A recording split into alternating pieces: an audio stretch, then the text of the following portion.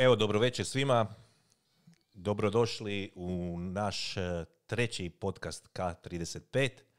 Sponzor večerašnje emisije je eh, Pršutana Jelenić i TXT reklame. Zahvaljujemo se i Mirjani Poropat na grafičkom oblikovanju. E, moj večerašnji gost je Goran Blažević. Kako bi te nazvao? Putopisac, je tako? Ne, ne, ne, hodač. Hodač? Da, ne, ne bi se nazvao putopiscem. Ja sam hodač. To je to. To je tvoja životna To, to je moj život na spoznaju. spoznaja. Biti Filozofija i spoznaja. Da, da. Pa Dobro, stvaramo tek spoznaju, ali to je taj moj životni moto. Pa nije baš da- Poziv. Da, Poziv. poziv, da. Mm.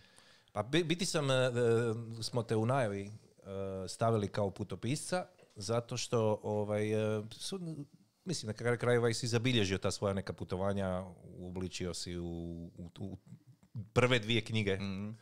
Ovaj, pa tako, baš sam se pitao, imaš i svoju stranicu koja se zove Goran Blažević 4 KMH. KMH, to znači kada hodamo u biti uvijek četiri Pa ne, normalno. gle, ovaj, kreneš ujutro, možeš biti malo brži. Možda ćeš biti na 5, 6 ujutro, prvih sat, dva. I onda ti pada brzina. I kako vrijeme prolazi, kako sati prolazi, kako dolazimo pred kraj dana, ono čak nam pada na 3 km na sat. Pa sam ja stavio ono srednju brzinu, Negdje 4 četiri. Da, htio bi još reći da se možete evo, ovaj, uključiti s komentarima na, na YouTube-u i na Facebooku možete, vidjet ćemo vas, ovaj, iskomentirat ćemo ako je nešto zanimljivo. E, I naravno, subscribeajte se to, to sad odmah sada, svi koji gledaju sad tu dolje lijevo, znači tu vam je i tu onda stisnete to subscribe. Eto, e, što se tiče Gorana, e, pa ja bi nešto počeo biti sa tom tvojom, e, možda, to nije zadnja bila avantura, ali je možda, ovaj, e, pošto si po njoj napisao drugu knjigu koja se zove Karavana. Mhm. Pa evo nama, u biti si, tu nisi bio klasični hodač, tu si bio jahač. Da. Dakle, ja sam, ako se može reći, ja promoviram usporeno kretanje. To, je, to već promoviram od 2011. godine. Dakle, nakon što je započela, moja hodačka priča započela 2010. 2011. sam nasvijestio da želim promovirati taj stil. Tu bi bilo više toga unutra, nije samo hodanje, može biti bicikla unutra, može biti jahanje konja, može biti e, putovanje kajakom i takve stvari. Znači putovanje je ono kod ti koristiš svoju snagu da bi došao do neke određene točke. A s- ova posljednja, zapravo predposljednja priča je bilo jahanje, da, jahanje devom. I to je bilo, zapravo napisao sam knjigu o tome i sad e, putujem okolo po Hrvatskoj i promoviram tu knjigu. I Knjiga se zove. Karavana. Karavana, da. Ekspedicija kroz pustinju Rubal Kali je zapravo govori o toj o toj priči šta se dogodilo tamo, ali ti ćeš mi sad postavljati pitanja koje te zanimaju vezano za hoću, tu priču. hoću. Pa ne znam šta te zanima. O, ovaj, e, knjiga se može gdje naručiti, recimo, za početak. Trenutno samo kod mene. Dakle, moguće naručiti preko mog Facebooka, preko mog Instagrama, preko mog maila. E, moguće naručiti preko udruge Fotopoetika ili u gradskoj knjižnici Umag, isto tako jer je gradska knjižnica Umag e, isto sudjelovala u izdavanju te knjige. A, možeš mi reći, znači, na, ponoviti još jedan puta adresa, znači, na kojoj možeš... Na, e, na Moj Fe- Facebook je Goran Blažević 4 km na sat, znači 4 kmh. Eto, možete tamo kontaktirati i naručiti, pošto ćemo vas mi sada zaintrigirati za ovu ovaj, e, knjigu, pa će vam to biti... Eto, znači, u principu, e, to je bila tvoja davna neka ovaj, želja za putovanju na, na devama. Ti si nešto ispričao da je to bilo još kad si bio možda u osnovnoj školi. Dakle, u osnovnoj školi započinje ta, ta, to neka čudna susret. E, drugi razred osnovne škole, ja se vraćam doma autobusom, na Umag. autobusnoj stanici Bašanija, neka Mhm. velika livada, na jedan put vidim e, dvije deve, dvogrbe, dvoje ljudi pored tih deva, neobični, sa turbanima na glavi, neobično obučeni i to je bila jako zanimljiva pojava. Ta, taj, to je trenutak koji možda traje 45 sekundi sve skupa, dakle dok bus ulazi, stane, neko si lazi dole i kreće. Ali bilo je nevjerojatno moćno. Pogotovo drugi dan, ja dolazim u školu i tadašnja učiteljica govori ono, jučer su mogu došla dva putnika koji namjeravaju putovati čitav si svijet. I ta rečenica da će neko putovati čitav svijet je bila nevjerojatno moćna. I uvijek je ostala, je ostala zapamćena, pogotovo te deve. E, Deva je jako zanimljiva životinja, na primjer, ja sam razmišljao isto o putovanju konjem ili magarcem ili takve stvari. Ali ti tada moraš se jako brinuti za vodu, za hranu, za te životinje. Tako. A deva, na primjer, je nevjerojatno izdržljiva. Ona može nekoliko dana ići bez vode, ako ne govorim možda i tjednima. Može nekoliko dana bi, biti bez hrane i uvijek sam smatrao da je to idealna životinja za putovat. I 2019. godine mi se otvorila ta prilika da idem do Saudijske Arabije. To se dogodilo sasvim slučajno i dobio sam zapravo priliku da budem isto jedan od prvih zapadnjaka koji je ušao u tu državu turističkom vizom, jer je do 2020. godine e, Saudijska Arabija bila skroz zatvorena zemlja. Mnogi ljudi su je čak uspoređivali sa Sjevernom Korejom, ali možda je jednostavnije bilo doći do Sjeverne Koreje jer imaš neke kineske agencije, fino ih platiš i one te ti dozvole da uđeš u Koreju, u Sjevernu Koreju. A u Saudijsku Arabiju je bilo moguće ući samo ako si hodočasnik, odnosno moraš biti musliman koji ide na hač tamo. To je bila jedna mogućnost da dobiš vizu, a druga mogućnost je bilo da si neki poznati, neki bitan biznismen, nešto, i da poslovno ideš u Saudijsku Arabiju.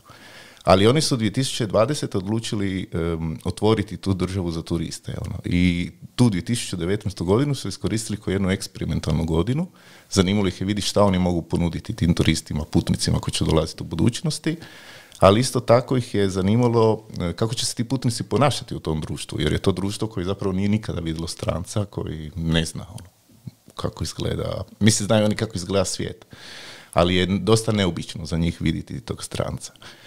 I onda su 2019. godine napravili tri projekta. E, Treći projekt se zvao Rakaib, što bi na arapskom značilo karavana deve. I bio je jedan natječaj gdje su oni tražili sto pustolova iz čitavog svijeta da, koji će se priključiti. toj Je to velikoj sto od priči. najvećih luđaka. Ja, tako sam ja plani, razmišljao da će doći 100 divljaka ono, žešćih. Na kraju nije nas bilo 100, bilo je, ja mislim, 86 ili 84 jahača. Većinu su bili iz arapskih zemalja. Dakle, ono, možda mi koji nismo bili iz arapskih zemalja, nas je bilo neki 30 bi rekao. Ti si bio u biti na putovanju sa curom u, u, Iranu. Da. ja sam išao s curom u Iran, putovanje koje smo se jako veselili, bez nekog posebnog projekta, razmišljali smo kako ćemo tamo ići, malo stopirati, malo se voziti autobusima m, i tako, ono, upoznati tu zemlju. Znači bez pješačenja nešto. Nije, nije, nije Ma znali smo da će biti sigurno neko pješačenje, ali ništa ekstra. Još Da. se sjećam kada kad je moja, mama saznala, šta nećeš hodat, bila je nekako čak i razočarana da neću hodat. Ali ovaj, da, išli smo totalno opušteno u- na to putovanje u Iran i u Iranu ja sretnem svog prijatelja Daura Rostuhara i on mi daje informaciju da se u Saudijskoj Arabiji organizira ta velika karavana. Pošalje mi taj, on mi je poslao taj link, Link. i ovaj, i tijekom jedne noćne vo- vožnje u autobusu gdje ja nisam mogu spavati, odlučio sam otvoriti taj link. Počeo sam ispunjavati ovaj, tu prijavnicu jer sam svijestio da je to to je ono, ispunjenje sna koji nisam niti imao hrabrosti ono, reći da mi to san. I poslao sam ono, tu prijavnicu i sljedeći dan sam dobio odgovor da se očekuje da za nekoliko dana dođem u Saudijsku Arabiju. I sad super, ovaj, super sretan, međutim treba reći curiću ja te sad puštam u, u Iran. Iranu. To je bila prva stvar za riješiti koju sam jako jednostavno riješio, ali druga je bila malo problematičnija, ali isto smo je riješili u nekoliko dana. Kako sad iz Irana doći do Saudijske Arabije? Jer e, u muslimanskom svijetu ono postoji dvije grane, ono, islam se podijeli na dvije grane. Imamo sunite i šite. Suniti su na neki način zaštićeni i njih predstavlja Saudijska Arabija, šite predstavlja Iran, možemo reći. I te dvije grane su u međusobnom sukobu nekom. Ono. Tako da nema diplomatskih odnosa. Na primjer, rat u Jemenu je rat između Saudijske Arabije i Irana. U, Sira- u Siriji smo isto tako primijetili da je na neki način rat između šita i sunita. I ovaj, ali na kraju je bilo jednostavno, trebalo samo kupiti kartu za Istanbul, ono, sići dole u Istanbulu i sjest na kartu za Rijad, što sam napravio i to je to. Bilo je zanimljivo dobiti tu vizu, vizu sam dobio nekih 36 sati prije leta preko Whatsappa, dakle dobiš poruku u Whatsappu nekog nepoznatog broja i gore ti je viza gdje piše da si ti gost kraljevske obitelji, printaš tu vizu, ono, svi na aerodromu ono, se čude otkud ti imaš tu vizu, kako si je dobio, ali taj papir prelazi sve moguća pitanja, sve urede i na jedan put ja dođem do Saudijske Arabije. Da, malo je ljudi uopće bilo, kaže. Ono. Saudijska Arabija, će da nije bilo ove lude pandemije, Saudijska Arabija bi 2020. godine bila sigurno hit hitova i bit će u budućnosti jer je to jako zanimljiva zemlja. Mislim, jako je interesantno ići u zemlje gdje još se turizam nije razvio. Na primjer, ja sam čuo priču u Saudijskoj Arabiji da je jedan dečko putovao sa backpackom, sa tim velikim ruksakom i da su ga zaustavili, pitali su ga da li je to padobran. Dakle, ljudi još nisu niti vidjeli takve ruksake i takve stvari. Tako da sigurno zemlja koju treba ići što prije i što prije proći i doživjeti, pogotovo dok će oni još biti čisti od tog turizma, bit će moguće osjetiti tu gostoljubljivost koja je ogromna u muslimanskim zemaljama. Onda si došao tamo i imali ste taj jedan susret, u, kako bi neko okupljanje u tom kampu, kud ste krenuli sa tom... Dakle, okupljanje je bilo prvo u Rijadu, e, tamo smo trebali biti dva dana, mislim da smo ostali četiri na kraju, jer smo čekali da se okupi ta ekipa, dakle, ono, već na početku, ono, kasni, brutalna ekspedicija, ono, po dva dana. I vode nas na granicu između Saudijske Arabije i Jemena, a u Jemenu rat. a u Jemenu rat, da. I, ne- I tamo se diže, su Saudici digli jedan ogroman kamp i to je zapravo bio kamp di se mi moramo educirati, di moramo naučiti te vještine koje će biti potrebne da bi mi prošli tu pustinju. A najbitniju vještinu koju smo trebali naučiti je zapravo jahati tu devu. To nije bilo, to nisam očekivao jer nekako kad sam čitao tu brošuru imao sam osjećaj da ćemo mi hodati uz tu devu.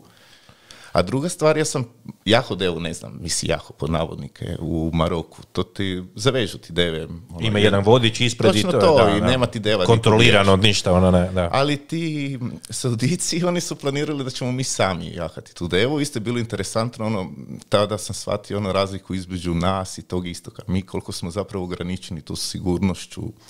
Naprimjer, da ja idem jahat ovdje, da želim naučiti jahat, pretpostavljam da bi prvih, go, možda i godinu dana, dobro, možda pretjerujem sad sa godinu dana, bi bio zatvoren u tom nekom renču. U tom nekom krugu gdje bi mogao ja jahat samo u tom krugu, a trebalo bi jako puno vremena da meni dozvoli vlasnik da izađem van iz tog kruga i da krenem s konjem na otvorenom prostoru. Tamo si odmah krenuo.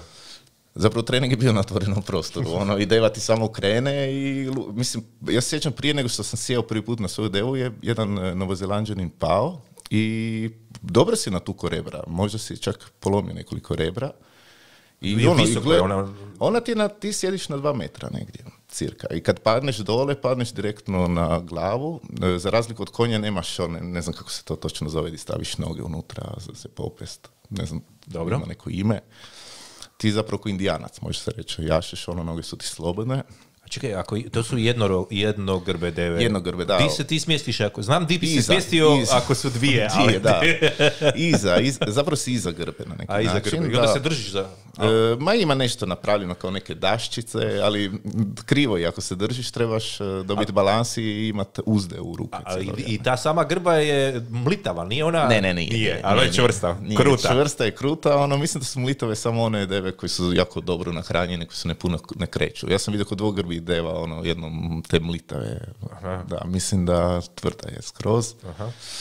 Moraš naučiti neke zvukove, zbog toga što devu ne možeš jahat klasično kao konja, nije da ti saskočiš na nju, nego moraš nekako, na neki način spustiti dole, da ona legne dole, da ti možeš nju zajahat. I- Moraš dobiti prije svega povjerenje njeno...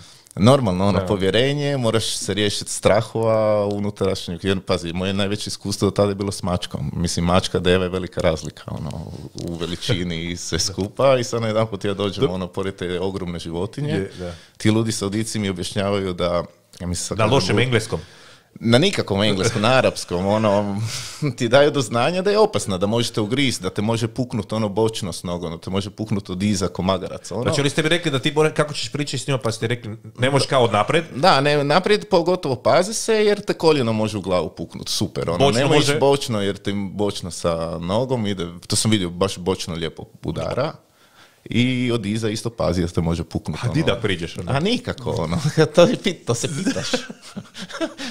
Ali šta, oni su super napravili sudici. Dakle, on, e, naši učitelji su bili beduini. Mi nismo mogli dobiti bolje učitelje od njih. Ono, to su, znači, pleme koje već tisućama godina živi na tom području, koji zna sve tajne pustinje. Međutim, to pleme, ti ljudi, ti pustinski ljudi, oni nisu nas nikad vidjeli. Oni nisu nikada mogli vidjeti zapadnjaka. Oni ne, zamiš, ne mogu zamisliti svijet koji nije u pustinji. Ne mogu zamisliti čovjeka koji ne zna radi s devom. I sad mi dođemo tamo i oni nemaju taj osjećaj da mi ne znamo. Ono. Kako misliš da ti, da ti svaki dan s devom... Točno to, ono, i on je jako pušten i njemu je to sve smiješno i, i ne možeš mu objasniti da se ti bojiš. Ono. U isto vrijeme, ono, ne znam, on uvijek je malo kao, ne daj Bože da muškarac prizna da se boji ili tako nešto, Aha, ono, aha. kao nisi dovoljno mačo ili takve stvari. Ja sam bio lijepo, moram priznat, uplašen prva dva, tri dana dok smo bili u tom kampu, jer sam bio svjestan da nas ne uče, da puno vremena gubimo sjedeći, pijeći čaj ono, i čekajući da oni odluče da mi krenemo sa nekom akcijom ili nešto. I sve skupa smo možda prije nego što smo krenuli jahali na neki sat i po, dva. To je bilo to moje iskustvo sa Devom. I sjećam se, na primjer, večer prije nego što smo krenuli, bilo je jako zanimljivo, svi su išli spavati, ja nisam nikako mogao spavati, tisuću pitanja mi se vrtilo kroz glavu. I dolazi general. General je bio, mislim, postojala neka hirarhija u toj karavani, general je bio na drugom mjestu. I dolazi taj general i pita me, dobro, kao šta ima, da sam lijevo, zašto ne spavaš? I kaže, a malo sam nervozan, nemam, ne mogu ono, spavat. Kao, pa šta te muči? Ja kažem, pa ne znam jahat. I on mi samo pukne ono, po ramenu i kaže, ma bez brige do kraja pustinje ćeš naučiti. Tipa kao da sad idemo skijat, ja ti kažem kreni ono do kraja ćeš ti naučiti kočit ono. To što ćeš se možda ubiti, polomiti, biti invalid ili ne znam ja šta, nebitno ono. Da.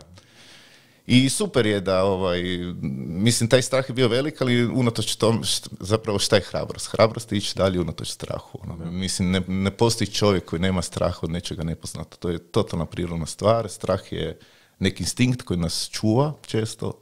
Nije on loše, ono, ne moramo se praviti da ga nemamo. Ok ga je priznat. I to je to. Evo imamo sada režija, pustit ćeš ovaj broj jedan Šiva. Šiva si je nazvao, Šiva si ga nazvao. Ovu Šiva je zapravo, mislim, pretpostavljam da zna, ono, hinduistički bog, e, razaratelj. Ja sam se osvijestio da moram razoriti strah u sebi i zato sam ga nazvao Šiva. Dobro. Gledamo ili? Možemo. Jedna od prvih stvari koju sam morao savladati kad sam došao do nepoznatih pjeskova Rubalkalija bilo je naučiti surađivati sa to neobičnom životinjom.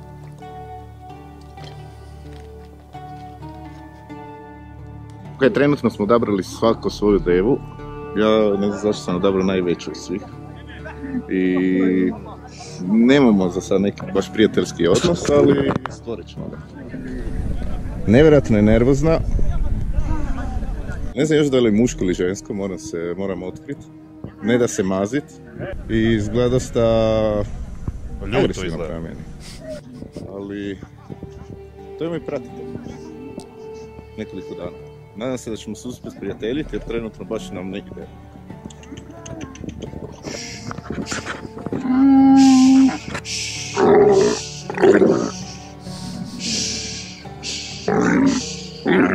Ok, živit će nas. Ne, ne voli me uopće. Si pokušao imitirati njen zvuk? Šta ti bilo? Zapravo ove zvukove koje ja puštam su ti zvukovi koji su nas Aha, naučili. koji su naučili. Da, i taj, dobro, taj, evo, taj, to je taj zvuk za smiriti i spustiti devu, taj iz, iz grla. Sve taj pš što sam ja radio, tu se je tek živcirao, ono, to, to je bila greška, ono, žešća.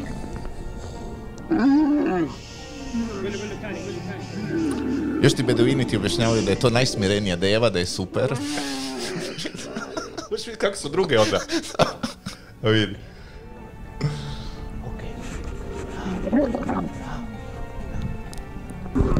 Me pljunula. Mislim da je muško. Da. Bez ikakvog iskustva u jahanju imao sam dva dana da savladam tu nepoznatu vještinu. Osim toga, morao sam naučiti kako pripremiti devu i postaviti sedlo. Bez tog znanja bilo bi nemoguće sudjelovati u karavani i prepustiti se nepoznatoj pustinji. Moj san konačno postaje stvarnost. Ali da bi u tome uspio, znam da moram prihvatiti strah, kao i sumnju koje se javljaju pred tom nepoznatom životinjom. Jer nijedno živo biće ne bi prepustilo vodstvo nekome koji je strah. Upravo sam završio prvo jahanje, jahali smo neki sat i pol vremena. Mislim da je palo prijateljstvo između mene i Šive. Nazvao sam ga Šiva. Jer... Uh, šiva. Šiva. Ukratko lizujemo se cijelo vrijeme. I mislim da nam dobro ide. Ono. Postajemo prijatelji polako jer više me ne grize. I stvarno postajemo ekipica. Šta kažeš ti? A? Šiva. O, sad je već Vidi kako je pitom. Ma šarmirao sam ga. Da, jesi, jesi, da. E, nema straha s moje strane, što je super i mislim da to Devo osjeća. Jedino što se on boji ići nizbrdo. Za par sati idemo na drugi trening i sutra prelazimo pustinju. ali mislim da imam dobrog prijatelja koji će me, s kojim bi mogao to uspjeti. Živa. Zdravo ekipice.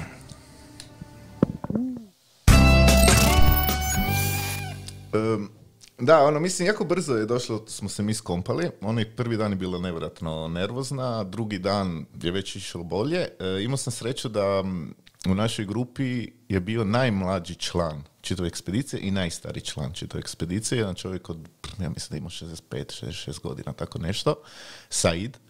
I on me najviše naučio od na početku. Ono. Dakle, dok smo imali te problem komunikacije sa beduinima, beduini su bili dosta nezainteresirani oko nas. E, Mislim, trebaš biti dobar pedagog da ti znaš davati znanje. Možeš ga imati, ali ako ti ne znaš na koji način ono ga davati, onda se je dosta nezgodno. I on mi bio rekao, gle šta rade beduini. Ono. I tipa, pogledao sam oko sebe, beduini su isto poznali prvi put svoju devu. Oni imaju devu doma, rade s njima, međutim, mi smo dobili te deve, od, to su bile deve od kraljevske obitelji. I, ovaj, I primijetio sam da beduini sjede satima pored svoje deve. Dakle, ono, sjednu pored nje i to je to. I šta, i to, istu stvar sam radio ja, ta sljedeća dva dana. Cijelo vrijeme bi sjedio pored nje, ona je lagano, na početku je bila nezadovoljna, ona mumljela nešto, kasnije je počela me njuškat, znači upoznala je taj moj miris. Um, dijelio sam doručak s njom, dobio bi komad kruha, ono, svaki dan je taj doručak bio, pola, do- pola komada kruha je bilo za nju, ono, na neki način da se tu ulizuje, ono, i da je dobiju. I mislim da je bilo ključno taj trenutak kad sam ja osvijestio da moram se riješiti tog straha. Dakle, ako me ona ide grist, neću gu- maknut nogu, e, ruku, ono, dakle, da vidimo ono dokud ide. Kud ide, da.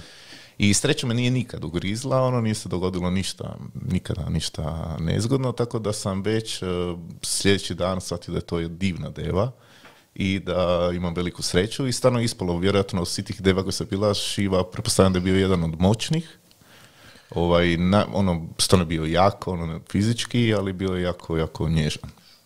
Ali interesantno, kad, smo, kad sam pozdravio Šivu, znači zadnji dan, završila je priča, idem ga pozdraviti, on je ponovno bio kao isti dan. Ko prvi dan. On me je ponovno napadao. Zab- zaboravio sve. Da, nije davo da dođe. Man, to je bio kao onaj pijev život, ne znam da li znaš onaj film. Dakle, ovaj, on putuje cijelo vrijeme sa tim tigrom ono, po oceanu i sad izlaze, konačno ono, prošli su taj ocean, došli su do kopna i izlazi van čovjek i tigar i on pogleda tog tigra u nadi da će se tigar okrenut i kao pozdravi. Pozdravit ga, ništa. Tigar je samo ušao u šumu. I tako je bilo sa Šivom. Znači, Šiva više nije mi davalo da dođem do kontakta, tako da je znao, to je to, riješili smo. To Aha, je naša priča obavili smo našu gotova, misiju. Prebacio sam te preko pustinje i sad... I to je to. Ali ni, e, zanimljivo da je to, to možda ta tvoja deva je bila možda ipak neka teretna, jel? Da, dakle, š- deve se dijele u, u na arapskom poluotoku imaš tri tipa deve, ono u prošlosti su te teretne bile najbitnije, najva, ono važne i nevjerojatno. E, moraš uzeti obzir da su bedini živjeli između jednog e, bunara i drugog. Dakle, njima su trebali te deve da bi nosile vodu. E, kad bi nalazili nek, e, ispašu za svoje deve, trebalo je sad ta naselja prebaciti iz jedne ispaše na drugu i trebali su ti jake deve. I pretpostavljam da je Šiva bila ta teretna. E, imaš devu za ljepotu, koju mi nismo ih vidjeli, ali kasnije sam gledao ono, na YouTube-u te snimke, zbog toga što bez... sad- Da YouTube gleda deve. da, Arapi imaju nevjerojatno puno novaca, dosta im je i sad se bave ono svakakvim ono, zabavama i jedna od zabava je odabir mis deva, ono, možemo reći tako, ono, di se spuštaju ono, iz cijele ono, svih tih zemalja, ono, da dokazuju koja je najljepša deva.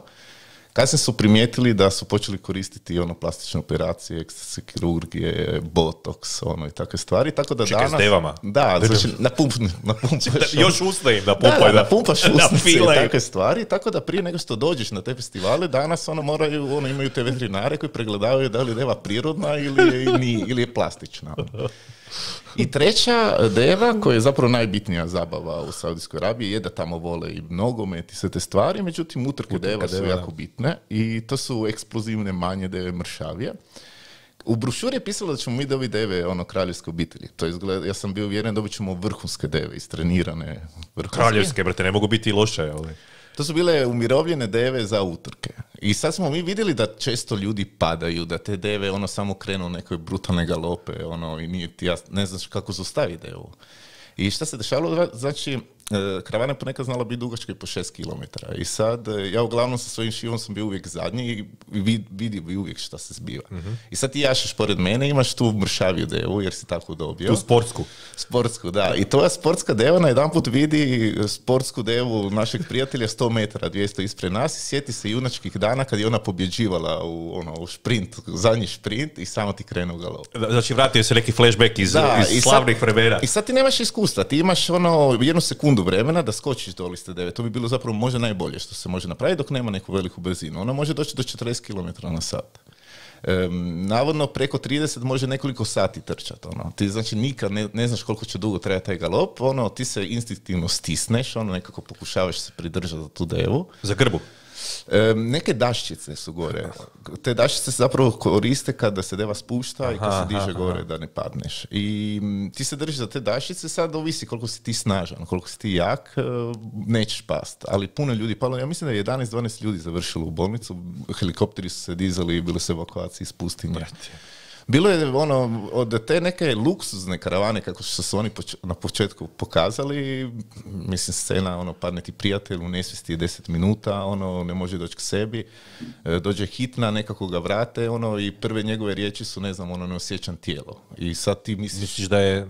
čovječ, pa, Da, da. A, a krenuo si na put, razmišljajući možda neću ništa naučiti u toj karavani jer je preluksuzno to sve da. opisano, ali kasnije su oni sredili da nama bude baš super iskustvo i super da je bilo tako jer sam puno toga naučio. Ono. Reci mi ono, znači ono prvo tvoje jahanje je bilo da on je tebe stavio na devu i potjerao ju praktički, a on je uz tebe trčao i govorio ti, objašnjavao nešto na arapskom. Točno to, da. E, a nije prije da ti nešto rekao komande, ne, nego... ne. Dakle, ja sam sjeo na tu devu, on je pukao i krenula je deva i on meni objašnjava sad što moram raditi, ono, na arapskom. I deva ide.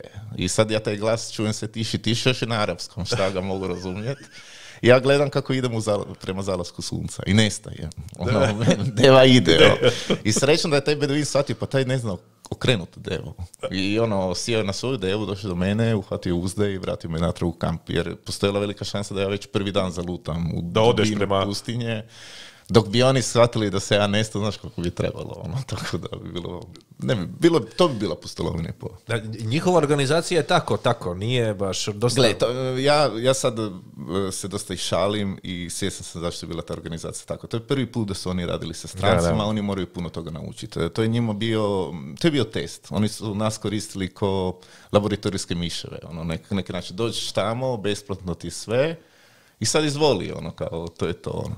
Em, za razliku od nas, na primjer, ne planiraju kao moglo bi se dogoditi to, to i to i to i moramo imati rješenje za te stvari, nego oni nađu rješenje tek kad se pi- pizdarija dogodi. Ono, kao, tek tada ono krenu reagirat nešto, tada je prekasno, a ti gledaš i znaš ono, pa mogli ste malo prije o tome razmišljati.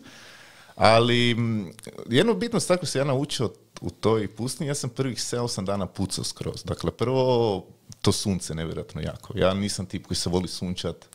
Uvijek imam osjećaj da mi sunce oduzima energiju, ne da mi daje. Volim sjediti u hladu. I na jedan put ja dođem u prostor gdje tog hlada nema, gdje ga možeš samo zamisliti onda ono, slabo spavaš sve te stvari. Sam jako, na početku prvih 5-6 dana meni je bilo jako, jako teško. Ono. I, I kasnije sam shvatio da ako ću se ja lijepiti na te njihove gluposti što oni rade, da uopće neću uživati u toj priči, da ću zapravo izgubiti to vrijeme što imam na raspolaganju, taj mogućnost da ispunim taj svoj veliki san, na to da budem ljut na nekoga i naučio sam prihvatiti glup, baš se sjećam ono, da prihvatiti glupost. Ono, kao. Dakle, ono, Po, pomirit se s tim i, je- to, čuješ da on, on tebi kaže jahat ćeš danas 60 km, jučer ti dva dana namjerno držam na mjestu ono, i sad moramo ganjati po 60 km dnevno da uhvatimo ono što smo izgubili. Ono, A Zašto su stajali...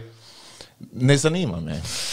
Prihvatiš i Da, ideš. dobro, ono. dobro. Ej, a sad ono, na primjer, je bilo interesantno gledati kako su pucali ljudi. Neko, tipa, ja sam pucao prvih 5-6 dana, a onda su bili interesantni oni koji su pucali 20. dan, 21. 22. kad si ti već čvrst i onda gledaš kako lik ono, lagano odlazi. Interesantno u toj pustinji, znači bilo nas je 80 i nešto, nije bilo interneta, nije bilo mobilnog signala, nije bilo mogućnosti da ti pobjegneš iz tog e, prostora, ono, na neki način da se ja zatvorim u šator, nazovem tebe i sad se pet minuta zezamo i ja u tih pet minuta se pomalo pustim i shvatim, ok, ajde. Dakle, mora, tamo si, ono, ne, nemaš mogućnost bježanja. Druga stvar, u pustinji nema zidova, nema mogućnosti da se ti sakriješ negdje i sad svi smo mi došli, glumimo ono što mi mislimo da jesmo, ali pustinja te relativno brzo ono zdrma ono i pokazuje ono i tvoje najloše strane, padaju maske. Da, da, nema tamo. To je najloše strane, tvoje najbolje strane i na kraju se stvorila tako jedna super Atmosfera. energija, atmosfera. To je inače naj, naj, e, e, najveća poslije Sahare, jel? Kako se, A sad, e, ja sam to napisao u knjizi, Da. ali kad gledaš, ja sam Rubal tu pogriješio. Jer zbog toga što ti je najveća pustinja na svijetu, Faktograf bi trebala biti Antarktika. Antarktika je pustinja. aha. Ne. Ali dobro, mi raz, ono, zamišljamo. Ali mi zamišljamo pustinje ko pjesak, Pjesak, ono, da. i kad bi zamišljali ko pjesak, dakle na prvom mjestu je Sahara. Međutim, Sahara se razlikuje od, te, od tog Rubal Kalija, jer tamo imaš, e, imaš pjeska, dine, planine, kamenje, ima svega i svačega. Rubal Kali je čisti pjesak, ono, i to je zapravo najveća pustinja na svijetu kontinuiranog pjeska na svijetu. Sam to dobro. Pa da, kod- znači pjeska. nema ništa drugoga nego Da, ima samo pjesak. samo pjesak. I ovaj, interesantno je po tome što se u prošlosti samo tri puta prošlo. Dakle, posljednja ekspedicija je bila 1951. ako se ne varam, jedan Englez ju je napravio. I od 51. do 2020. Ne, 2019. niko nije napravio nikakvu priču ono, u pustinji Rubalkali. Zašto nije napravio? Zbog toga što je Saudijska Arabija zatvorena, to je prva stvar. U Saudijskoj Arabiji očito nema takvih pustolova koji su željni i koji ih zanimaju takve stvari raditi, ali u isto vrijeme tamo postoje nevjerojatne legende o toj pustinji, da ćeš ti nestat, ono. Govori se o tim naj- da tamo postoje najviše dine, govori se da postoje točke gdje ti samo možeš, na primjer, štap od 10 metara, ono, samo ga pustiš i on lagano klizne u pjesak. Ono, dakle, ti, taj neki živi pjesak koji te samo guta. Ptice, ono, selice, instinktivno izbjegavaju taj prostor. Unatoč tome što moraju tisućama kilometra ga ovaj, izbjeći, one ne idu preko njega. Tako da ovaj, je jako, jako interesantna ta Koliko je to pustinja. skupa traje put je? 25 dana smo mi jaha, e, bili unutra, od toga su bili, mislim, če- četiri dana, ono, pauza nekih, tako nešto. A već prvi dan je bio odmah problema sa, sa opskrbom, sa hranom je na početku. trebalo. Dakle, da, prva dva, tri dana dok smo bili u tom kampu je bilo sve super. Tamo smo žderali ko svinje, ono, zamišljaš ono da na nekoliko kilometra tebe u Jemenu ono, ljudi gladuju, ono, i umiru od kuge, a mi ovdje se nevjerojatno uživamo, pijemo vodu, imamo konobare, ono, super sve organizirano. I krenemo na jedan put i ne, ono, mislim, hrana presmiješna. Ono, ba- bar- meni je doručak jako bitna stvar. Ako ne pojedem da, dobar isto, doručak, isto, ono, loše. Sve, je. da, da. I sad za doručak dobijem, ne znam, tipa paštetu, ono. Šta je to? Ništa, ono. Za čekaš ručak, ručak dobiš naranču. I ono, gladan si, gledaš tu devu kako brsti tu suhu travu koju tu i tamo nađe i misliš i najrađe bi ja ono to brsti. Ona jede, a ti ne. Da, da. Tako da prva dva, tri dana ono sam bio jako gladan. Kasnije se, naše Navik. tijelo se može naviknuti na sve i svašta. Ono. Došlo je super, ja sam puno smršavio u toj pustinji, što mi je bilo ok, jer sam, kad sam ušao u pustinju sam bio malo bucko. I onda sam se tam lijepo usušio i to je to. Ono, cijeniš kasnije, ono, doručak doma, Da. E, i Između ostalo, dobro, prije svega je jako suho, znači to je su, nema vlage, jel? Vlaga je jako niska, ono, ja ne znam, ono, par posto je nešto ma, ispod 10%. Dakle, već kad si ti u prostoru gdje imaš, ja mislim, 20% vlage, smatra se suhim prostorom, područjem, ono kao. Tako da tamo je bilo nevjerojatno mala je vlaga, niska i tebi se tijelo suši. I lice, usne. Grozno. Ja napr- naprijed ono, četvrti, peti dan napravim si selfie i to je jedini koji imam. Jer e, vidim sebe 20 godina stariji. Ono. I sad gledaš i druge i vidiš čovječe kako mi grozno izgledamo, ono, šta se dešava. Kasnije ono shvatiš da se zapravo prlj- prljava, da samo se trebaš ono lijepo oprat, ono i da odmah se pomladiš, ali je baš stvar da je to, te, nema vlage, ono suho je, to sunce je nevjerojatno jako. Znači ja nisam skoro ništa vidio tu pustinju bez naočala. Cijelo vrijeme naočale na, na oči očima. i gledaš ono kao jer nevjerojatno je snažna ta svjetlost ono i baš te gazi. E, i na početku ste se čak i ovaj sa vodom malo razbacivali, ovaj, vi ste se kupali sa tim bočicama, jer ste mislili da ćete biti cijelo vrijeme opskrbljeni. Dakle, da, svakako su bila obećanja, oni na početku, šta, sad prva, ta dva, prva tri dana dok smo bili u tom kampu, ono se nevjerojatno puno trošilo vode. I kako su bili ti konobari, Filipinci neki zaposleni, ja imam bocu, popim guc, stavim je na podu pored sebe, prođe konobar, uzme ju baci u smeće i daj mi novu. Ja mislim, pazi kako oni bacaju bez veze te boce. Davali su nam od 3 deci vode. Ne- Nemam pojma zašto su tako napravili i organizirali. I, ovaj, I mi krenemo u tu priču i cijelo vrijeme su nam rekli ono, oko vas će biti auto logistike, ti digneš ruku kad ti treba voda i neko će ti dati bocu vode. I mi smo mogli, prva tri dana smo imali velike količine vode na raspolaganju i kasnije se dogodilo jedan put nema vode. Kao, kako nema vode, nije ti uopće ništa jasno, ono, daju ti po, davali su nas litru i dva deca, znači četiri boce vode dnevno. I, i užas, ono, ti si žedan, znači ti dobiš bocu tri deca, ti bi to izekso i onda daj mi još pet takvih, ono, da izeksam i daj mi onda još pet takvih da popim za gušto. Da, da. I da, ta žeđa je bila ono jako... Evo, imamo još jedan režija, imamo li prilogić broj 2? Ovdje je naša režija Pincani jer oni brzak u studiju 12, jer imamo 12 kvadrata prostora. 9, 9. 9, 9, pardon, 9, 9. Hoće krenuto? Čekaj da se zalaufa. Da. Interesantno je da već e, smo nekoliko dana bez tuša, svi. I bit ćemo mjesec dana bez tuša. Šiva! Idemo! Jučer su nam ograničili vodu, jer navodno smo trošili jako puno vode. I imam osjećaj da mi fali kućine, ono baš sam brutalno žedan. Kad je došla žeđa, svi smo bili u nevjerici. Bilo je potrebno neko vrijeme da shvatimo da se to stvarno događa. Da to nisu samo priče i slučajnosti, nego da vode u istinu nema. Znači, definitivno smo bez vode. Niko ovaj, od auta koji nas prati, od logistike, nema vodu. Nema vode niti za devi. Imamo možda još četiri deca vode. Treba bi dobiti eh, sljedeću vodu za nekoliko sati. Restrikcija je dovela do toga da su se boce trošile na kapalku. Upravo su ljudi počeli pucati. Zvukli su van kuti iz auta i ljudi su se počeli trčati, trgati za bocu vode.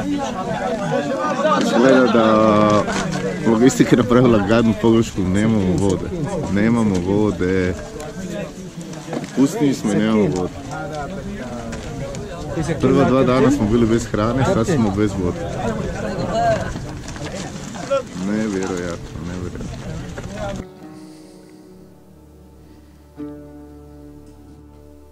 Danas su nam dali zapravo dvije, četiri, pet boca vode. Znači litru i pol vode smo dobili, čitav dan smo na suncu, u pustinji smo i to je jako teško. Imam čitav dan, mislim sam jako suha, mislim da su sušane. Ova pustinja oko meni. Ja sam se nadam da, da neće to tako ići dalje zbog toga što je jako, jako teško. Ja stvarno ono, se sav ono, srpljen zbog od žeđi. Ovo je prvi put, mislim, bio sam dehidrirao više puta dok sam hodao, patio sam od žeđi, ali to je bilo nekoliko sati. Ovo je prvi put da ja čitav dan nisam pio dovoljno vode. Sam se- Jučer sam legao žedan, danas sam se probudio žedan i čitav dan sam žedan. Više ništa nije bitno, od kada su buđenje i spavanje u znaku žeđe. Znači 46 stupnjeva u hladu. Usne su mi pune rana, a usta suha i ne mogu stvarati slinu. Jučer se dogodila jedna nevjerojatna scena kad je došao kamion s vodom za deve. E, Ljudi su trčali i počeli su piti tu vodu. Moram priznati da se ja popio tu vodu kad sam vidio tu masu ljudi kako pije, nisam izdržao da ne popijem ni ja. Što je ovo kada Nakon neka? toga su došli doktori. To je za deve, da. A, za da deve. Voda nije pitka. Tu mi valjda stavljaju hranu, su mi stavljali. da treba vidjeti šta, da li će nam biti nešto loše. Ono, moguće da će nekima biti loše, možda nekima neće. Ja sam odmah išao izvan kampa pokušati povraćati tu vodu, međutim bilo nemoguće. I tako, jako zanimljiva pustolovina moram priznati, jako zanimljiva pustolovina. Evo. Ali šta je tu je? Nakon više od tri dana, konačno dolazimo do velikog kampa i do trenutka u kojem u ovom pjesku se slavi voda i život koji ona nosi. Stigao sam e, do kampa, do prvog kampa znači koji, u kojem ćemo imati pauzu, imamo vodu, imamo sve. Ja sam samo malo opro kosu i da osjetim ono... Ovo je super. Ovo je super trenutak. ovo je super trenutak. Nadam da više neće biti greška s vodom, da nećemo morati više tako patiti. Jer je ovo bilo baš užasno patnja. Ali ono baš sam sretan. Wow.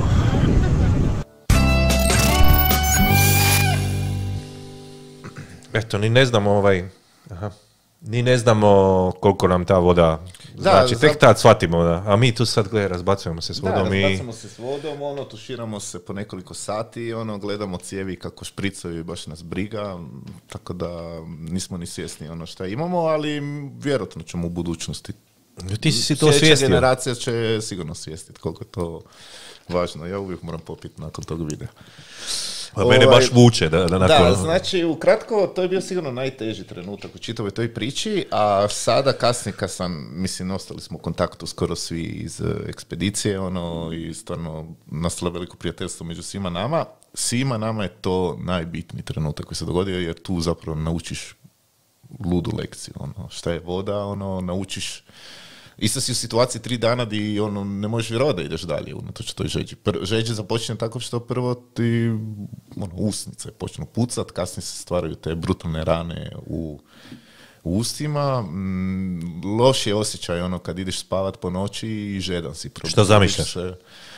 Zamišljaš da ovaj, dođeš doma, da kupiš dvije one od 5 litara vode, znači 10 litara vode, da jednu eksaš i drugu piješ za gušt. I to non To je meni to je bila, veći ti ono, cijelo koji se u lupu. slika, ono, da. Gledaš kako stvara tu slinu. Naprimjer, nis- da barem imaš neku žvakaču ili neki bombon, to ti može pomoći. Da, ono. da izlučuje, Da, da, ono, da se... jer je ta ust, to, to je toliko suho ono da je preludo. I taj guc vode kad, kad ga imaš, ne znaš na koji način, ne želiš ga progutati odmah, želiš nekako da ostane u tim ustima, da ti tu ranu, ono, da ti te rane nekako izliječi sve to.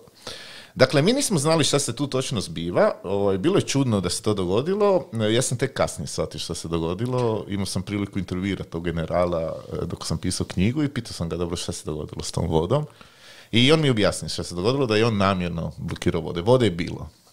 Oni su namjerno tu napravili to jer se dešavalo da su primijetili da se brutalno ta voda troši.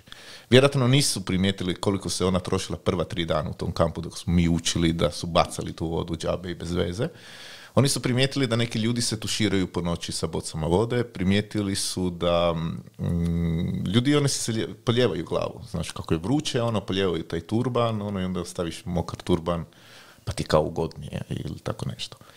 I on je shvatio da ako idemo tako dalje, da ćemo negdje, kad ćemo biti u sredini ekspedicije, e, vjerojatno ostati bez vode. Što nije neki veliki problem, jer e, ekspedicija imala jako veliki budžet.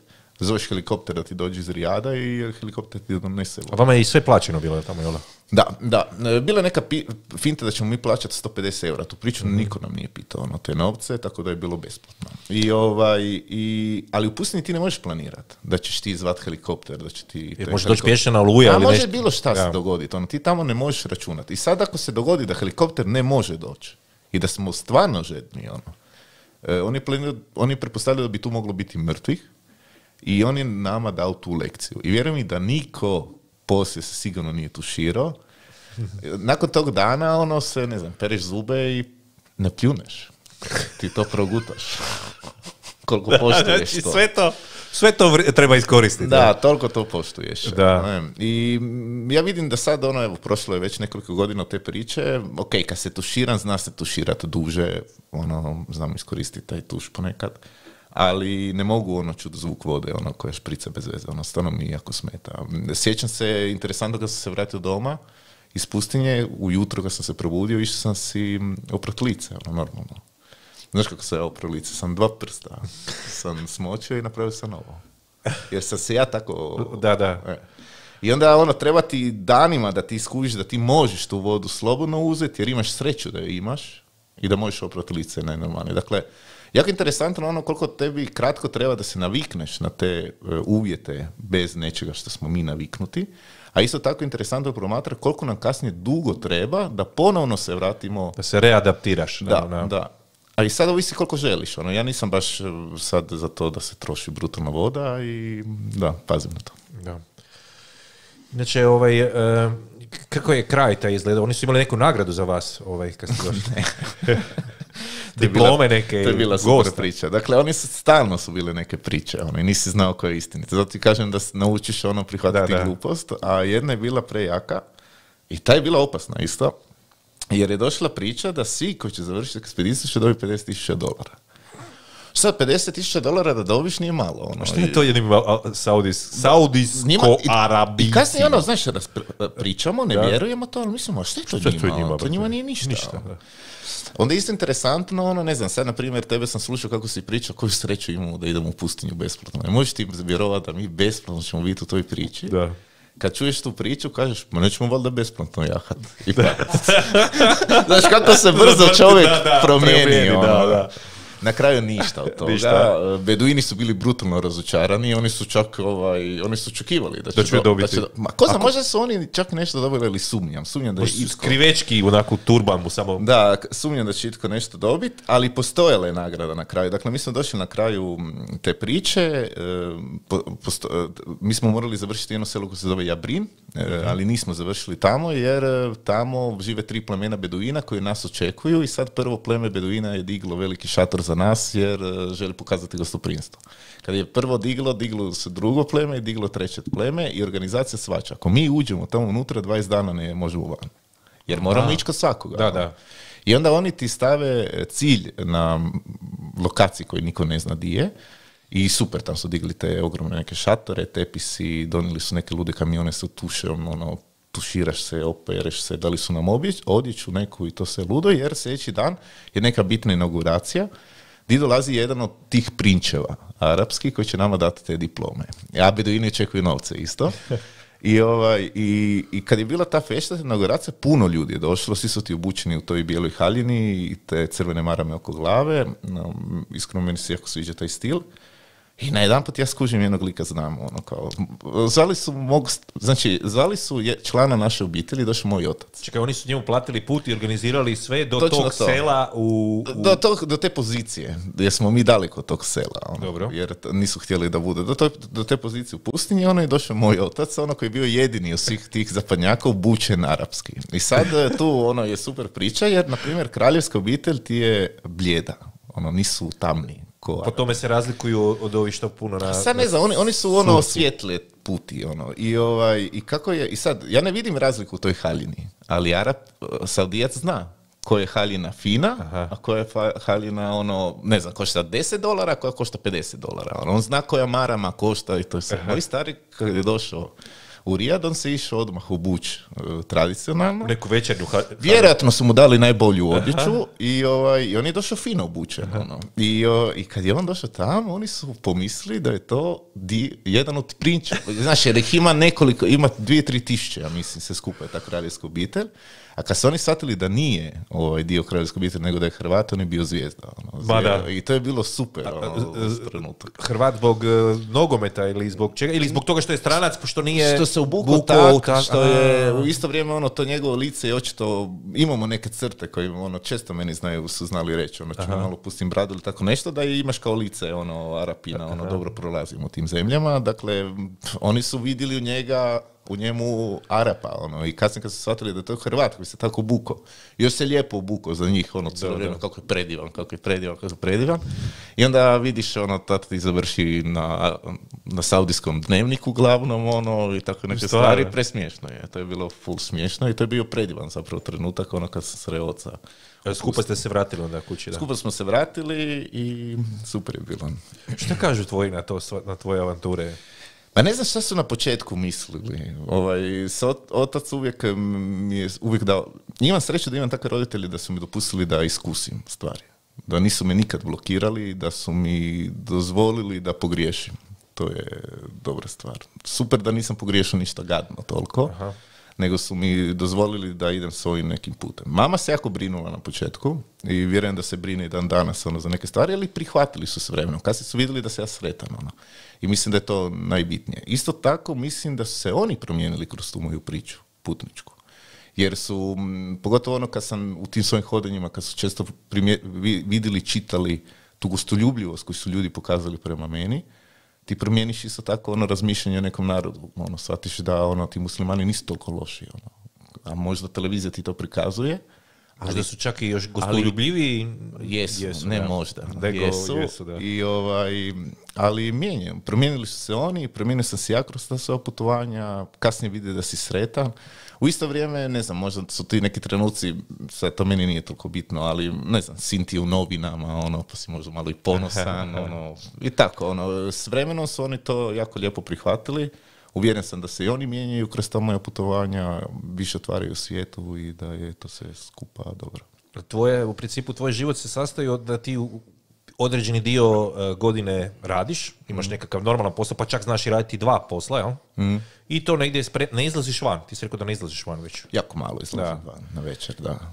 Ono već par, ma mislim ne par godina, to s- možda smo već na desetljeće jedno, Da. ono, da ne izlazim. Da ne izlaziš. I spremaš negdje i spremaš Da, si... ukratko radim od četvrtog, negdje, od četvrtog mjeseca do desetog sam zaposlen. Mhm. E, prije, sad zadnje dva ljeta ne, sam znao raditi po dva posla, dakle jedan službeni, jedan na crno uvijek, barem tu gdje je turizam, Mhm. gdje ima potrebe, barem u Istri možeš naći posao. Ono, stvarno, kad mi neko kaže da ne možeš nešto naći, već se pitaš. Da, ono. da.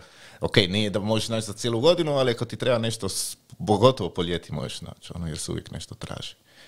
I, I ništa, skupljaš te pare, stavljaš sa strane i kasnije ono, s tim nocima ideš negdje. Dobra je stvar da ja znam tipa da ću 15.10. biti slobodan, znači ja već u šestom mjesecu mogu kupiti kartu. Ja cijelo vrijeme gledam Aha, aha. te karte, tu već možeš ući. I planiraš i sve... si- Da, ono, ideš jeftinije, već kupiš kartu jeftinije, nije da je kupiš u zadnji čas, e, pripremaš se za neke stvari. Mislim, najveći troškovi tih mojih putovanja su bil, je bila oprema, uvijek. Ja ne bih rekao da je karta neka bila preskupa.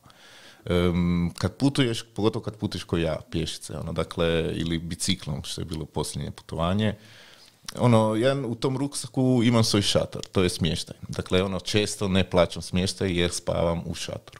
U tom šatoru je kuhalo, lonac i sve što mi je potrebno za pojest. Dakle, ne idem jest po restoranima, nego kupim u dućanu i kasnije si kuham tu hranu ispred Kuhalo šatora. na plin i... Na plin, da.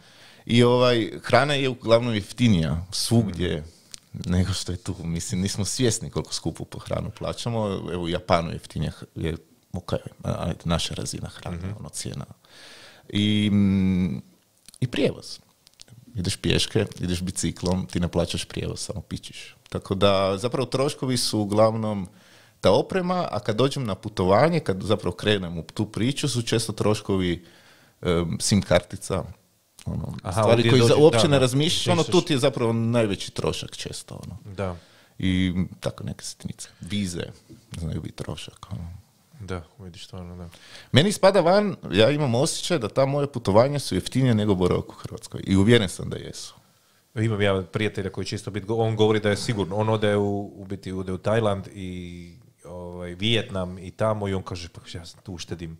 Bez obzira što platim tu kartu skupo tamo, ali meni je to skup, skup- jeftinije nego da sam ovdje cijelu zimu u Poreću i da... Da, pogotovo ako si na jednom mjestu. Da. Naprimjer, ako ideš sad da, ako želiš putovati i vidjeti neku zemlju, to je druga stvar onda. Ali ako dođemo na jednom mjestu, tipa nađeš smještaj koji će koštati 5 eura dnevno, ako ti ga dogovoriš, kažeš lijepo, ja ću biti tu tri mjeseca, a ga ti meni daj za tri. Ovi će ti ga odmah dati. Da. Odmah će ti spustiti cijenu. I to možeš ono stvarno jako jeftino. Živit ono, a živit, ne, ne znam, ovdje je zima, a ti uživaš lijepo na plaži i ljeto. Jedno od tvojih prvih putovanja kojem si u biti ovaj, e, je bila tu po Istri.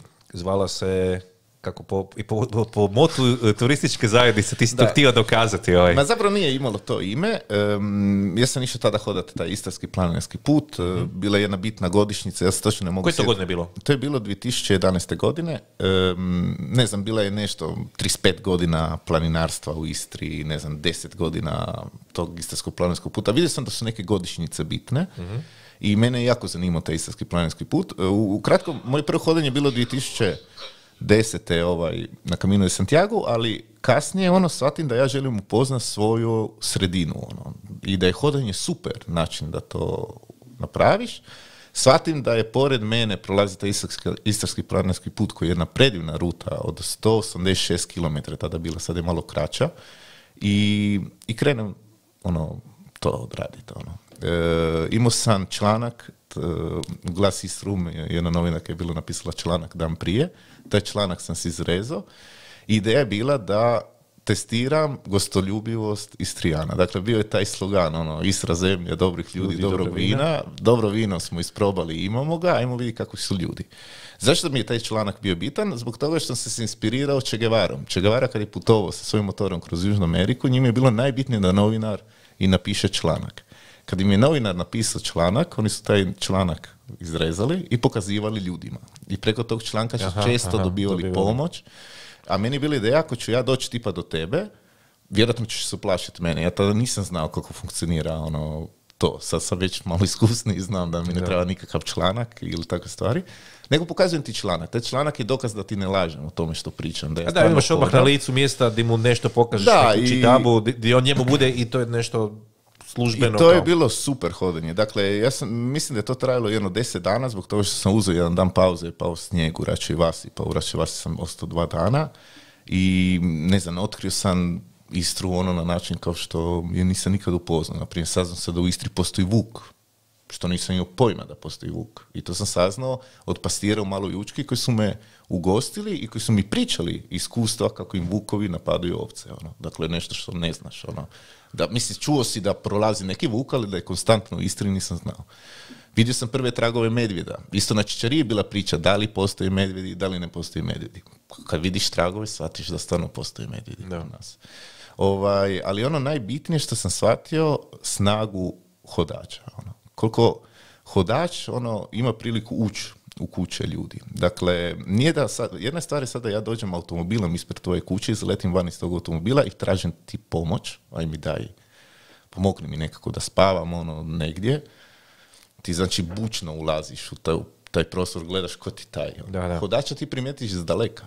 On se polagano tebi približava. Ono. I ti imaš e, osjećaj, os- i ti imaš priliku ga osjetiti kako on dolazi prema tebi. Vidiš detalje ono kako on dolazi. I hodač ono dobiva, jako često mu se otvaraju vrata. Jako često dola- ulazi u kuće ljudi. Ja sam tu vidio da zapravo tu lomim sve, da tu pada turizam, da tu više nema šminke ono i da, ko- da u, ulazim u pravu priču. I nakon te priče Istarski planinarski put, ja sam osvijestio da način koji ću putovati u budućnosti će biti hodanje i, i od tada ono to pokušavam raditi. Znači, jedna od tvojih teorija je da gdje počinje turizam, tu, tu završava ta, kako bi to nazvao, Gostoljubivost. gostoljubivost, da. To sam principu osjetio- obala, kad si prolazio Istru, znači u obalnom dio je bilo teško, znači ti si u principu trebao svaki puta sebi naći e, smještaj, jel tako? Da, to je bilo te 2011. Znači, to je, taj istarski planinski put ti kreće iz Umaga prema unutrašnjosti, on ti ide prema Buzetu, kasnije se diže na Čičariju i spušta se ispod Labina na Crnoj punti. Ali 2016. kad sam vježbao za svoje najveće hodanje, em, sam prohodao obalu Istre. Dakle, od Savudrije do Rta Kamenjaka. I kasnije sam ušao unutrašnjost prema Pazinu do e, Planika. Da, na Planik sam išao. Ne, nisam išao na Planik. Išao sam na Žicu. Na žicu. Išao sam na Žicu ispod Bresta. Na Rakitovec. ono sam išao, ono, jer tamo su Slovenci digli žicu tada. I ovaj... I tamo je bilo interesantno, dakle ti hodaš po obali, to je bio treći mjesec, ono ljudi lagano sređuju restorane, kafiće, desno lijevo, ono počinje sezona. ne? Da, da. Svi su nabrijani, malo i gledaju ko dolazi i sad eh, sjećam se, ulazim u Fažanu, iz daleka čujem konobare, e, ide turist, ide turist, ovo. Znači turisti, ono, Da, da, da, prođeš, da, ono, naručiš mu kavu na hrvatski, vidi da nisi turist, razočara se, a izleti van sa menijem ili takve stvari. Aha. Čim sam ušao u unutrašnjost, ono, prolazim tako od Pazina, ono, sretnem nekog čovjeka, mislim nisam sreo, ja sam prošao kroz selo i čovjek, ono, ispred kuće, pa ko si ti, di ideš? Ajde dođi popit čašu vina. ono. Dakle, razlika. ono. Da, da. E, ja sam to jako primijetio u Turskoj. E, Dakle, u Turskoj kad sam hodao, dok sam bio u planinskom području koji nije turistički, ljudi su mi otvarali vrata. Ono, ljudi su radili sve i svašta da mi pomognu i da mi daju smještaj, ono, da mi daju krov nad glavom, ne kažem smještaj, krov nad glavom. Čim sam došao na obalu, gdje je turizam, gotovo. Ja se sjećam da sam jednom, ja mislim da sam cijelo selo sam pokucao vrata. Niko. To je bio eksperiment koji me, jako, jako me zanima u tom trenutku. Da li ću naći nekoga koji će mi otvoriti vrata? Niko. Van, van, van. Jer je bio, je, hotel je bio u tom selu. da. I to je to, ono, gotovo. Imaš ono. opciju tamo, Da. evo si plat, pa to bi... Da, i to je to. Tako da bi rekao da mm, to je jako bitno, da, da turizam. I znaš isto di počne neka lagana paranoja e, pored granica. Aha. Dakle, granice su isto mjesto. Ono, di je, ono, di već znam da je teško da ću dobiti neki smještaj, ono, da će mi neko pomoći, jer su ljudi paranoični na granici. Ja živim na granici isto i svakakve priče sam čuo kroz život, ono, o toj granici, nestaju bubrezi, ne znam ja šta, i to, ti- iste priče su ti u na makedonskoj grčkoj granici, iste priče su ti na albansko-crnogorskoj granici. Znači Tako uvijek da- ta neka paranoja o, o nekim... Paranoja tom drugom, ono, tu se nešto da, da. dobro ne dešava, neće, lako tu, ali sad kad prođeš granicu si gotov. Gotov, ono. da. A drugo, to smo i, i, i ovaj, kad smo se našli raspravljali o tome, a to je taj osjećaj, te e, u biti e, gostoljubivosti, da, da li se ti osjećaš u nekom trenutku ti kada tražiš spavanje, je li taj smještaj, da, i to je dosta teško. Ti si rekao da si prvi put, to je nešto, nešto kao proš, prošenje, jel? Bi tako nekako, kao pros, mislim, Ja sam na početku se jako sramio, da. da. To- To je dosta teško. To je kao da nekog pitaš posudi pare i gore deset puta. Mislim, gore, gore. Gore, gore, da, da. Gore, gore. Jer, ono, mislim, ko prvo, dakle, ja sam prvi put to osjetio u Istri kad sam hodao, ali to je bila druga stvar, jer si na svom terenu i nisam na takav način doživio, imao sam taj članak novinski ono, i nekako je to jako lagano išlo. Ja sam to prvo žicanje pravo sam osjetio kad sam hodao prema Rimu. Kad sam zapravo krenuo na putovanje, imao sam novce samo za hranu, ok, imao sam karticu, da se zna. Dakle, ja sam imao buštu, ono, kuvertu s novcima neki. I to sam ja izračunao, to mi je dovoljno za hranu. I ajmo probati doći do Rima, to je eksperiment moj, do Rima samo s tim novcima. Ono. U slučaju da se nešto dogodi imaš karticu, ono, ali i ja sam uspio doći do Rima. Ali mislim, radi se specifično, jer je to biti neka vrsta hodočašća, o čemu ćemo Da, pričati kasnije, da. ali dobro, ok, ej. E, i sad ono kad sam išao prvi kut kucat na vrata, to je bilo u jednom mjestu, zove se San Giorgio di Nogaro, u crkvi sam išao tražiti smještaj, jer ta je bila priča, da kažem, e, zapravo sam htio istražiti da li je crkva još uvijek otvorena prema hodočasniku koji hoda prema svetom mjestu. A sveto mjesto su Rim, Santiago i Jeruzalem po katoličkoj crkvi. I, ovaj, i ja sam se rasplakao. Ja, čovjek, taj čovjek je otvorio vrata i ja sam od srama počet smizriti, ja mu nisam mogao ništa. Mislim, što, inače nisam tip koji plaće. Ono, možda imam i neki problem, često ono kad bi trebalo plakat. Ne Da mogu se malo ispušeš. Ono. da, dobro je plakat, nije loše plakat. Da, da. ono. Ne sad svaki dan, ono, ali tu i tamo je sigurno ok plakat. I ono, užasno mi je bilo sram. Baš sram mota. Ono, da ja, jer se osjećaš jadno, ono, jer u isto vrijeme si razmišljaš, pa šta ideš po svijetu ako nemaš novca, znaš, mislim, Da, da, ok, da. ja, ti ima, ja, ja sam imao, ali to je bio eksperiment i sam ja trebao jačati, osnažiti, shvatiti da nije ništa loše to što radim, ali u tom trenutku mi je bilo užasno sramo, ono, užasno teško to tražiti. Isto bi još samo jednu stvar rekao, jednom me jedan prijatelj, pitao, prijatelj, jedan poznanik, upitao, ma šta te nije bed tako žicat ljude, iskorištavati ljude? To mi je bilo super pitanje što mi pitao. I onda sam se ja pitao da li ja iskorištavam ljude. Ono. A sad imam osjećaj da nisam nikada zapravo nikoga iskoristio, nego da je preludo. Ti uđeš, ja uđem u tvoju kuću i ti sad imaš, ugostiš čovjeka koji ne znaš ko je. Koliko često ti ljudi koji su mene ugostili su mi se otvorili i pričali stvari koje vjerojatno ne bi nikada A. nikome ispričali. Zato jer si tu tu jednom I, ja odlazim van, drugi dan, ja ga zahvalim, jer si mi pomogao i on meni, kao hvala tebi. Eto. Kao, jer, znaš, ono, dobije neki trenutak gdje je on mogao, znači ja sam ono otvoren skroz. Ja sam otvoren skroz. Scroller. Čuje se ovaj scroller, se čuje. Da, super.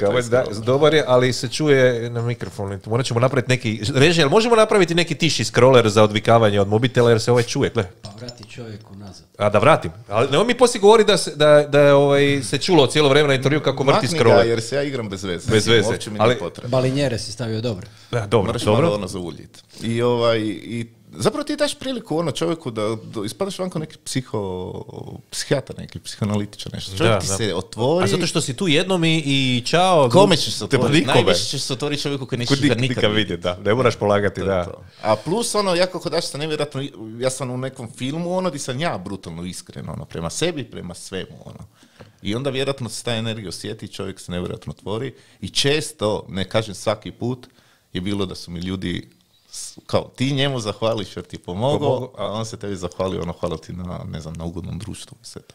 Tu e, tvoj san o, o hodočašću u, e, u, u Rimu, e, prema Rimu i- je bilo biti su ti si biti ti obuhvati tri hodočašća, znači u principu koja su kao neka ni- nisu to najpoznatiji, ali nekakav tvoj... e, Pa gle, Dante je pisao o tome, ono, da su imao tri rute, ono, dakle imao si e, ove sa školkom koji su hodali prema Santiago, imao si ove koji su nosili ključ, to je bio put prema Rimu, i bio je put e, Palmi, odnosno put prema Jeruzalemu. Meni je bila uvijek, meni je bila jako interesantna ono, ta priča. Meni Rim nije bio san, Rim je bio potreba. Dakle, nakon tog IPP-a, kad sam napravio taj istarski planinski put, dakle, ja sam znao da želim hodati do Jeruzalema. Ali kad sam ja došao do Učke, sam osvijestio koliko sam ja umoran, koliko sam se bez veze Kako bi tek do Rima, Koliko žuljeva imam i sad sam da moram puno toga naučiti. Da ja ne mogu sam tak krenuti na putovanje od pet mjeseci, ako ja sad sedmi, osmi dan sam ono, komiran, komiran, nema me. I odlučio sam da ću krenuti za Rim. Ono, sve, ne znam, to je bilo go- godinu dana poslije, da ću krenuti za Rim. I to mi je jako, jako bitno putovanje. Uh, Uspio sam doći do Rima, uh, crkva mi je otvarala svaki dan Kako si u biti do- došao, do- znači sreo si u American baru u Umagu? U American Baru imao sam sreću da sam poznao jednog svećenika, nećemo sad spomenuti ime da nam da ne bi bila neka frkica, ali taj čovjek je predivan, dakle on je bio dio, on je bio u župi, ono susjednoj mojoj župi, ja znam da ću ići kod njega. Dakle, meni treba potvrda da sam hodočasnik. A ne idem u crkvu, ništa, ali kako ću dobiti, ali znam da imamo nevjerojatno otvorenog svećenika koji, koji je divna osoba, ja njega upoznam u kafiću na večer, kasno, relativno kasno. I, ovaj, I to je naše upoznavanje, on mi kaže, gle, aj dođi sutra na misu. Ono, I sad ja idem sutra na misu. natjer- Odradi. Natjerao me, ono, mislim, super je on to odradio. On mi je zapravo samo rekao, aj sad čitaj evanđelje, kao usred mise. Nikad bio misi, ja idem čitati to evanđelje. Znaš te bakice iz sela, Da, da, da. ti gledaju, vidi malo Blaževića, ono, koliko je... ono, A ti si...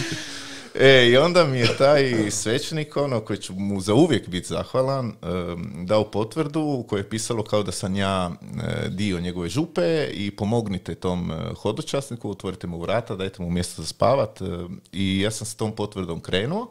Nesvjesno, nisam imao neki plan na početku, sam uvijek tražio tih e, svećenika koji su mi prvih nekoliko dana ugostili. Normalno da me prvi dan taj plako sam na vratima, ono, mislim, ko bi ti rekao ne. Da, da, da, da. I ovaj, e, dobio sam pečate. I ti pečati su na kraju bile super stvari. Tipa de- nakon 10-15 dana, kad sam naletio na prvo koji mi nije htio otvoriti vrata, sam rekao, pa nećeš biti prvi u Italiji. Pa vidi sve štambilji ovdje. Da, ono, Čak- vidiš, ono, vidi se tu da se mičem, da jutro ti idem dalje. sad ti mi ono, ne daš, bez da. brige, ono, kao, tako da mm, je super ispala ta priča. Isto je super ispalo jer sam zapravo upoznao crkvu. Mm, upoznao sam koliko struja ima unutar crkve. Ima stvarno jako, jako interesantnih ono stvari. Ima svećenika koji su me nevjerojatno inspirirali i koji su ono, gledaš čovjeka, slušaš kako ono, baš te puni i bogati. Ha, isto sam vidio ono najgore od crkve na neki način, ali mm, ostalo je zapravo pozitivno. Ja iskreno sam očeki, nisam očekivao da će mi uopće crkva otvarati vrata, a ja sam do Rima zapravo došao da nisam otvorio šator.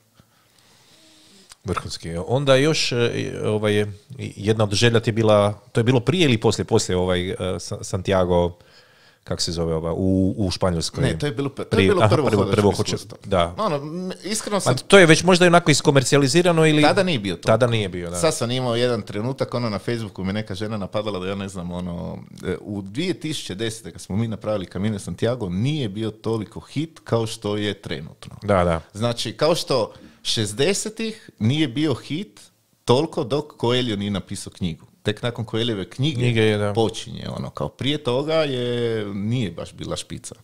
A ovaj, a sad je film. Film je izašao van i film je napravio taj neki boom.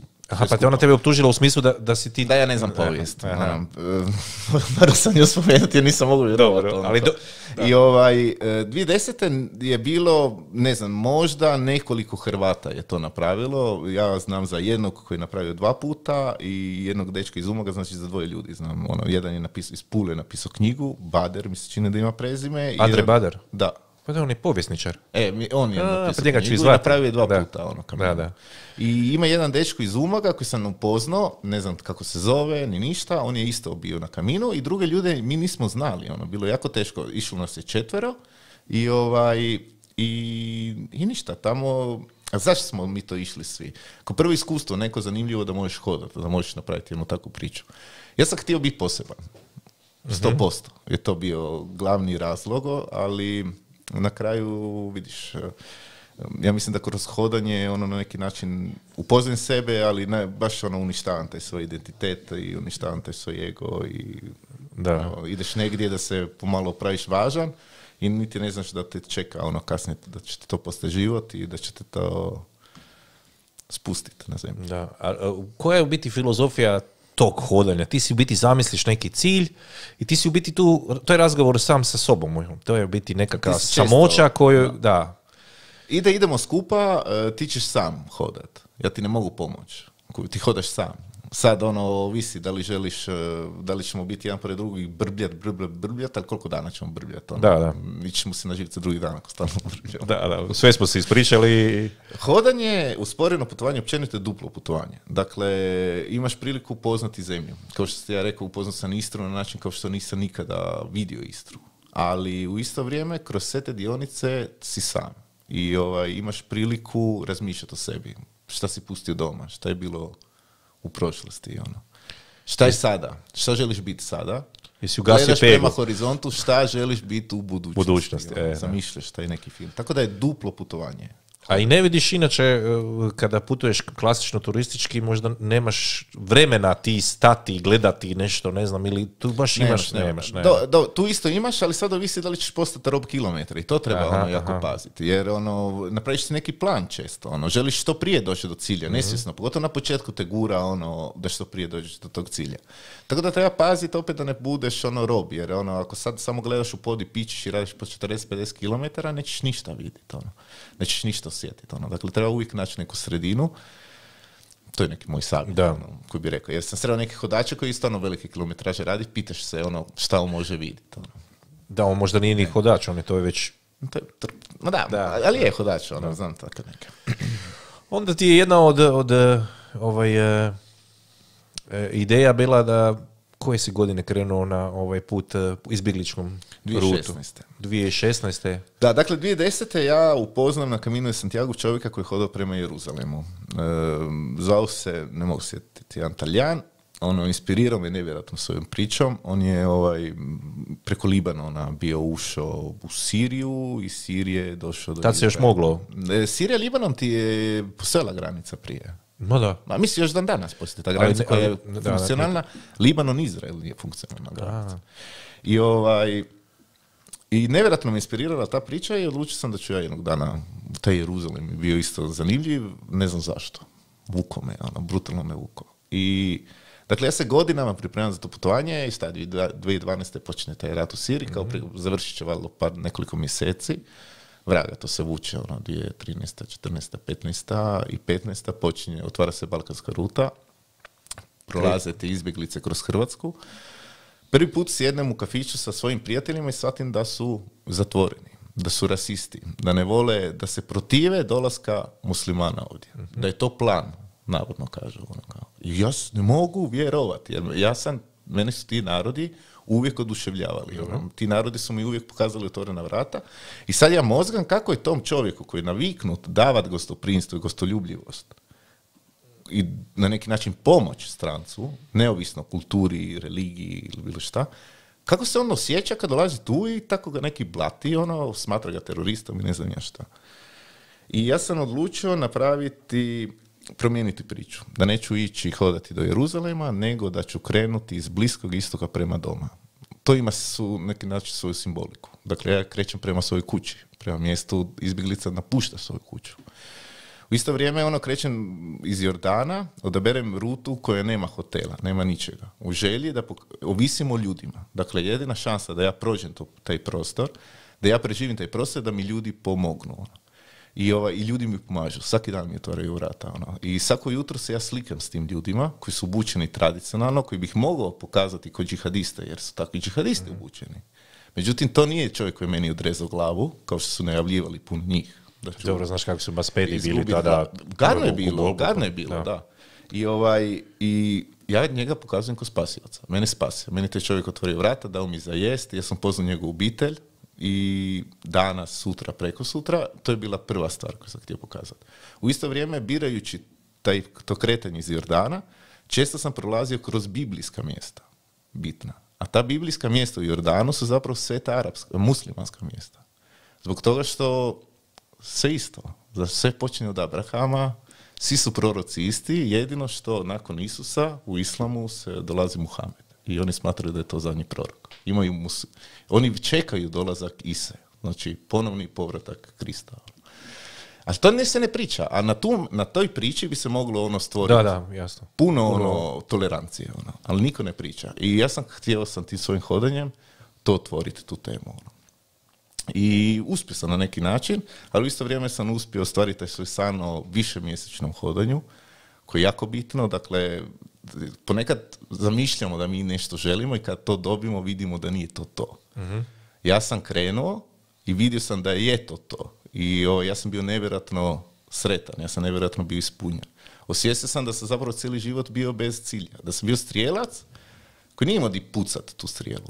Ono, nisam znao prema kuda ju usmjeriti. A u hodanju sam dobio svoj smisao. Jer je bilo dovoljno svaki dan se kretati nekoliko kilometara prema Umagu, da bi ja bio ispunjen, da bi ja imao da bi Svoj bio cilj i smisao. da. pun, da. I, I kroz to hodanje sam se jako promijenio ja i uspio sam na neki način, vjerujem da sam inspirirao neke ljude i možda promijenio mišljenje nekih ljudi. Sad koliko ne znam, ali i da sam promijenio jednog, ono je veliki uspjeh. Da. Kako uopće izgleda ta gostoljubivost e, u nekoj arapskoj? Da- Da li oni znaju jezik?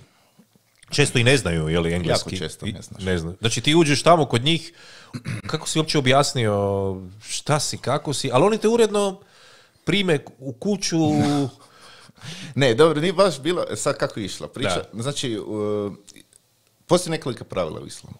I ono, moli se toliko, toliko puta dnevno, ne znam, idi na hađ, ovo ono, a jedno se zove Ibn il Sibil. Što bi na arapskom značilo, ono, pomogni putniku u prolazu, daj mu sve što mu je potrebno, za uzvrat ne traži niti hvala. Kao, mu sve. Što je normalno, da, um, islam je pustinska religija i normalno da ja sad idem prema tom šatoru u prošlosti. Sljedeći šator je možda na 100 km. Ako mi ti ne pomogneš, ako ti ne staviš pravilo da moraš mi ti pomoć, ja sam mrtav. Ali vjerojatno sutra ćeš ti krenut negdje. Da, da. I ako ti susjed ne pomogne koji je na 50 km, ti si mrtav. Ono, kao. Tako da je normalno da se pojavila ono, tako pravilo. Ono. Ja sam znao da to pravilo postoji, ali nisam znao da ga oni baš žive skroz.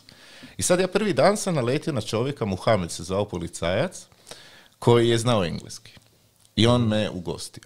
Drugi dan pićim, napuštam Muhameda, pićim i ne mogu naći nikakav smješaj. Sam u nekom prostoru gdje nema kuća, nema ničega i vidim policijsku stanicu i mislim, to je to. Ono, ako me Muhamed, policajac, prihvatio, u policijskoj stanici će mi pomoći 100%. I ja dolazim na tu policijsku stanicu i oni ne razumiju šta ja pričam. Jer ne znaju engleski. Nisam razmišljao da da, da će, da će to problem, biti da. toliko ono komplicirano objasni šta. Ja zovem Muhameda, Muhamed im pokušava objasniti ništa. Ništa. Ništa ne ide. Preko policijske stanice je jedna kućica razvaljena, razvaljenih stakla, ono, smeća unutra, svašta. Ja pokazujem policajcu, gle, ok, ne želite me primiti, ja sam tamo. Ja idem tamo spavati, jel mogu? Ja imam osjećaj da sam dobio pr- ono, potvrdni odgovor. Dođem tamo, skuham si večeru, pojedem, na mjesec si kreve, na jedan stane jedan crni auto, iz tog crnog auta izlete van dvije osobe u civilu, značka, tajna služba e, jordanska, koja priča engleski i objašnjavaju mi, ja im pričam priču, pokazujem slike, ono, ja, ja im prodajem priču da ja svake godine putujem i da su to neki moji projekti pješke, da ja putujem pješke. I oni lijepo poslušaju svu tu priču, pokazuju mi fotografije razne, koje sam imao, ne znam, iz Južne Amerike, di, nisam hodao, ali samo da ono, nekako ih uvjerim u tu svoju priču. I oni mi kažu, da, ali ti ne možeš spavati vani. Kao, kako ne mogu spavati vani? Pa da mogu. Ne, ne, mo- ne, u Jordanu stranac ne smije spavati vani, mora spavati u hotelu. Jesi ti svjestan da ta tvoja cesta, ne znam, broj 35, ja mislim da je bila, nema niti jednog hotela. Kako, sljedeći hotel je, spavat, da, da. da, sljedeći hotel je na 200 km. Di ćeš ti spavati sutra? Pa ići ću do tam. Ja njemu prodajem priču, pa hodat ću 200 km ako treba. I ništa. Zovu oni turističku policiju, dolazi turistička policija, to je posebna policija koja ne zna pričati engleski. Turistička ne, ne znam. Da, to je presmiješno. I odvedu me natrag. Znači idemo natrag prema Petri, otkud sam ja krenuo dva dana ranije. Ja sam lud ko šiba. Spuštaju se dole u neki kanjon, zove se Dana, to je jedan prostor gdje je bio hotel. Ja sam znao da je tam hotel, ali je 10 km nizbrdo i sutra dan 10 km uzbrdo, ja to ne želim raditi. I ulazim u taj hotel, nevjerojatno sam bahat prema policiji, ono, ljut sam skroz, svjestan sam da od sutra nadalje moram se još sakrivat. Ne samo da ono moram pješke proći taj pustinski prostor, ono, nego još se moram sakrijeti od policije, katastrofa, ali, ali tamo sam svjestan koliko želim to. Tamo ono, znači evo, težak trenutak koji ti osvijesti koliko ti nešto zapravo želiš. Da, da. I, ovaj, I tamo sretno recepcionera koji se čudi šta se ja toliko ljuti, zašto se urlam na poziciju. Zašto si bahat?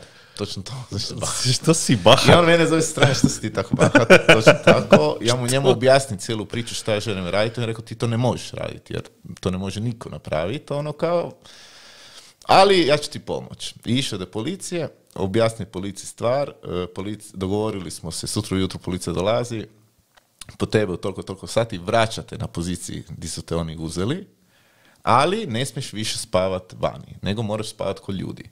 I taj čovjek je bio mudar, znao je kao ti nećeš moći spavat kod ljudi, ti ne znaš jezik. Ono. Ti ljudi kroz koji, pro, prostor kroz koji prolazi ne znaju engleski. Nećeš moći objasniti, da. Da, on je meni napisao na jednom papiru, kao ja se zovem Goran, ono, dolazim iz Hrvatske, hodam prema Hrvatskoj, ideja mi je napisati knjigu jer sam mu to bio rekao i ovaj, pomognite tom čovjeku, dajte mu mjesto za spavat. I od tog dana je počela čarolija i tada je to bio ključ koji je otvorio Mislim da nisi toga, možda bi na teži način možda shvatio, ali... Na drugi dan naletio bi. Naletio bi, da, Treba- da. Trebalo je to, da, to da. ti sve. I, ovaj, I od tog dana to je to. Taj papirić pokazuješ, ali preludo. Sad, na primjer, znalo se dogoditi u 11, 11 i podam me neko zaustavi, želi pričati sa mnom i zanima ga šta ja radim. I ovaj, ja ne znam kako da mu objasnim da ja hodam prema Hrvatskoj i onda mu pokazujem papir. Aha. Što piše sve super, osim zadnje rečenice. Dajte mi... I on ono, ajmo. Kao, ali ne, krenuo sam tek prije dva sata. Ono, ne mogu sad leći kod tebe doma spavat. Ono, moram ono pići dalje. Ono. Tako A on bi odmah sada... on bi ajmo, ajmo, ajmo, ajmo. Prelude stvari su se dešavale. Tipa sad ja tebe naletim na tebe na cesti ono, Da. i ti zoveš brata. I tvoj brat kreće autom i po, on, znači on ne zna, on, on- samo ti ovaj, kaže, e, tu je neki tip, treba mu smještaj. I čovjek dođe, pokupi me autom. A odvede nema nikakve informacije šta, kako, on... Ništa, samo daj. Čovjek mi otvori vrata, ono, već spreman krevet, ono, sokovi, večera, upali mi televiziju, najveći problem je bilo ugasiti televiziju, jer šta će mi arapska televizija. ono. I ovaj, lude, lude, ono, situacije, ono, di ti zapravo uživaš, ali si nevjerojatno zahvalan. Ono, Da, da. Jer eh, je divno, ono, kad ti, kad ono, kad sretneš čovjeka. Kad, mislim, ljudi ima svugdje, ali čovjeka nije lako naći. Da. O, to je u principu sada bio najviše ovaj, e, opis puta kroz e, Jordan, tako? Da. Izašao si, znači nisi mogao ići, on, mislim, A mislim, ja bi trebao da, bi, na- do, da Tursku bi trebao doći, ali moraš preći...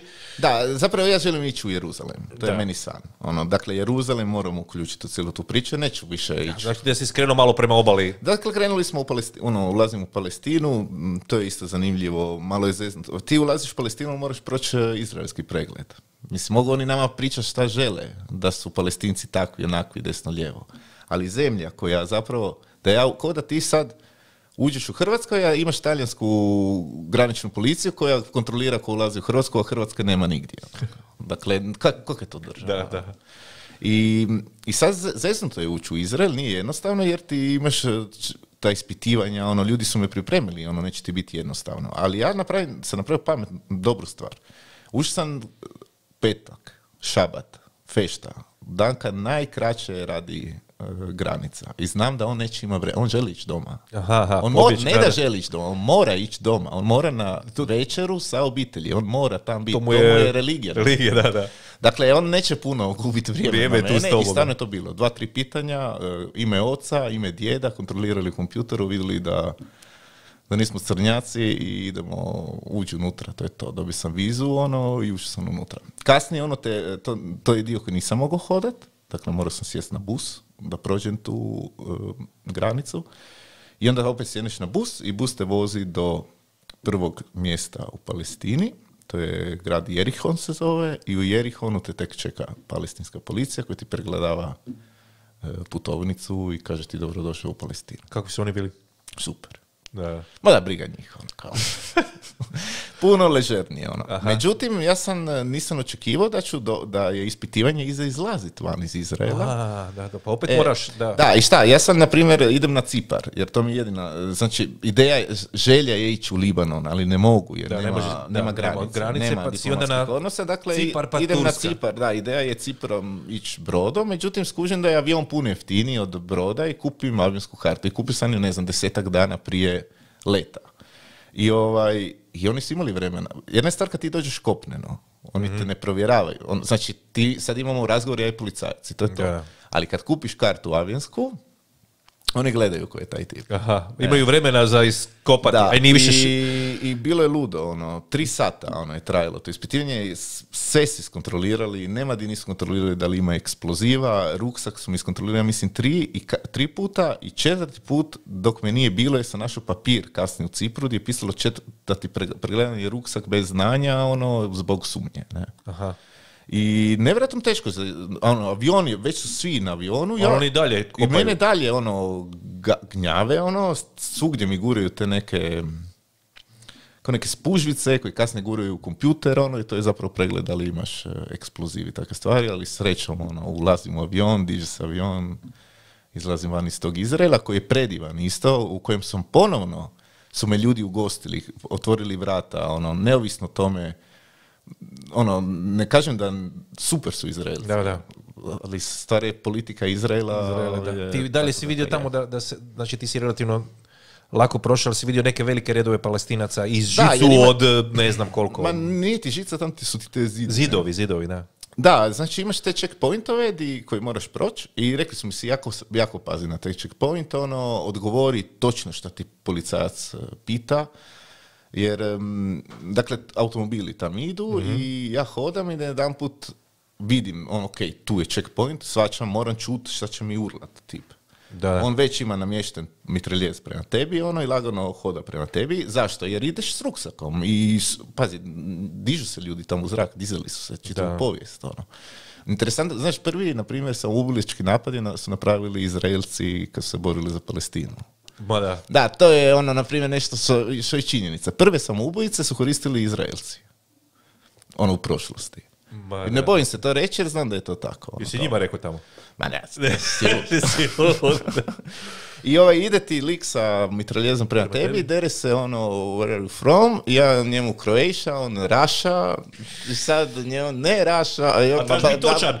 Raša, da, Da, kao da, sve da. cool, ono, samo da, da dođem do tebe, Da ti makni taj mitraljez, ono, i da ti pokažem putovnicu. ono. I onda super, pokažem putovnicu, onda mi dali vodu, rekli sjedni tu, i ja sam sjedio među njima, oni su kontrolirali te automobile i na jedan pogledaš, sam pogledao lijevo i vidio sam ulaz za palestince i tu shvatiš da nije to to. Jer palestinac, on se ne može slobodno kretati.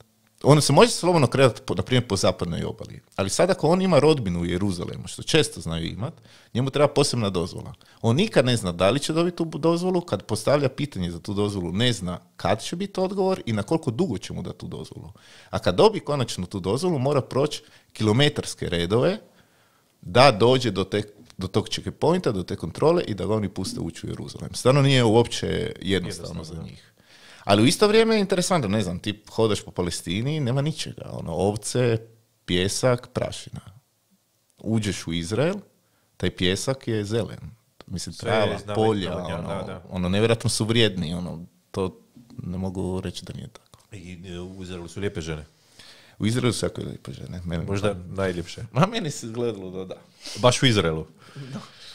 Dobro, onda si e, krenuo, znači, a, a, avi- pa, recimo da si tu malo morao odustati od te svoje zamišljene e, e, rute, ali kad nije bilo... Nije bilo opcije. Nije bilo opcija, da. Znači, otišao si na Cipar, a Cipar si naravno isto prepješačio do drugog kraja i krenuo sa, opet sa avionom, a nisi brodom, sa trajektom išao, ne, opet je bilo... Ponovno avion, ono jer je jeftinije. A, da. Ideš a ono to... Ti si htio možda onu, kao taj Ja sam sredozemni... ko hodočasti. Aha, Hodočasnici su nekada išli brodom. Ja sam Da, htio da. na takav način, Način, ali da. sad kad je jeftinije. Zapravo u Cipru stvar, e, nema broda. Brod, e, moram čekati 10-15 dana brod. Aha. A, on- a avion je nevjerojatno jeftini, mogu ga kupiti u roku dva dana. ono. I brzo I se- zato sam da, da. išao na sam išao na taj avion. E, Ušao sam, znači, taj Cipar je isto interesantan, grčko-turski, Da, da. taj rat, ono, Nikosija, glavni grad, podijeljeni, jedini podijeljeni grad još uvijek na svijetu. I onda ono, dođeš, došao sam do Turske i tu zapravo ja ulazim po prvi put na ruti. Ono. I, I u Turskoj tražim izbjeglice, ne mogu ih naći. Ne mogu ih nikako naći zbog toga što nema više izbjeglica. Sad govorimo, dvije, to je 2016. Dakle, prolazim te gradove Bodrum, Izmir je jako bitan, bitno mjesto, ono, Čan, ne, Čanakle je gore, sad se Marmori se zove. Ima par pozicija od kuda su kretali brodovi sa izbjeglicama i sad ja idem tra- u tim mjestima, tražim te izbjeglice, ne mogu ih naći, nije mi jasno šta se dešava, di su te izbjeglice. Još dolazim u Izmir, gdje imam jednu prijateljicu gdje mi kaže sad ću te ja odvesti u kvart, di su, Di su izbjeglice, di spavaju ono u... Kao neki kamp, neki nešto. Nije ka, o- u parku su. Parku, Tako je ona meni opisala. U parku su ti šatori i tamo ćeš moći... Pri... Nikoga nema i njoj opet nije jasno šta se dešava. Kasnije sam ja tek saznao, ono, došle su do mene informacije. Ovaj, znači, puno izbjeglica je otišlo preko, dok su mogli. E, kasnije kad su zatvorili rutu, puno se njih zaposlilo. Dakle, ono, postali su dio lokalnog društva, a veliki dio je dobio priliku postat, dobiti tursku putovnicu dali su im tursku putovnicu, državljanstvo, ali Turska je odlučila di će oni ići živit i šalju ih u područje di žive Kurdi. Aha.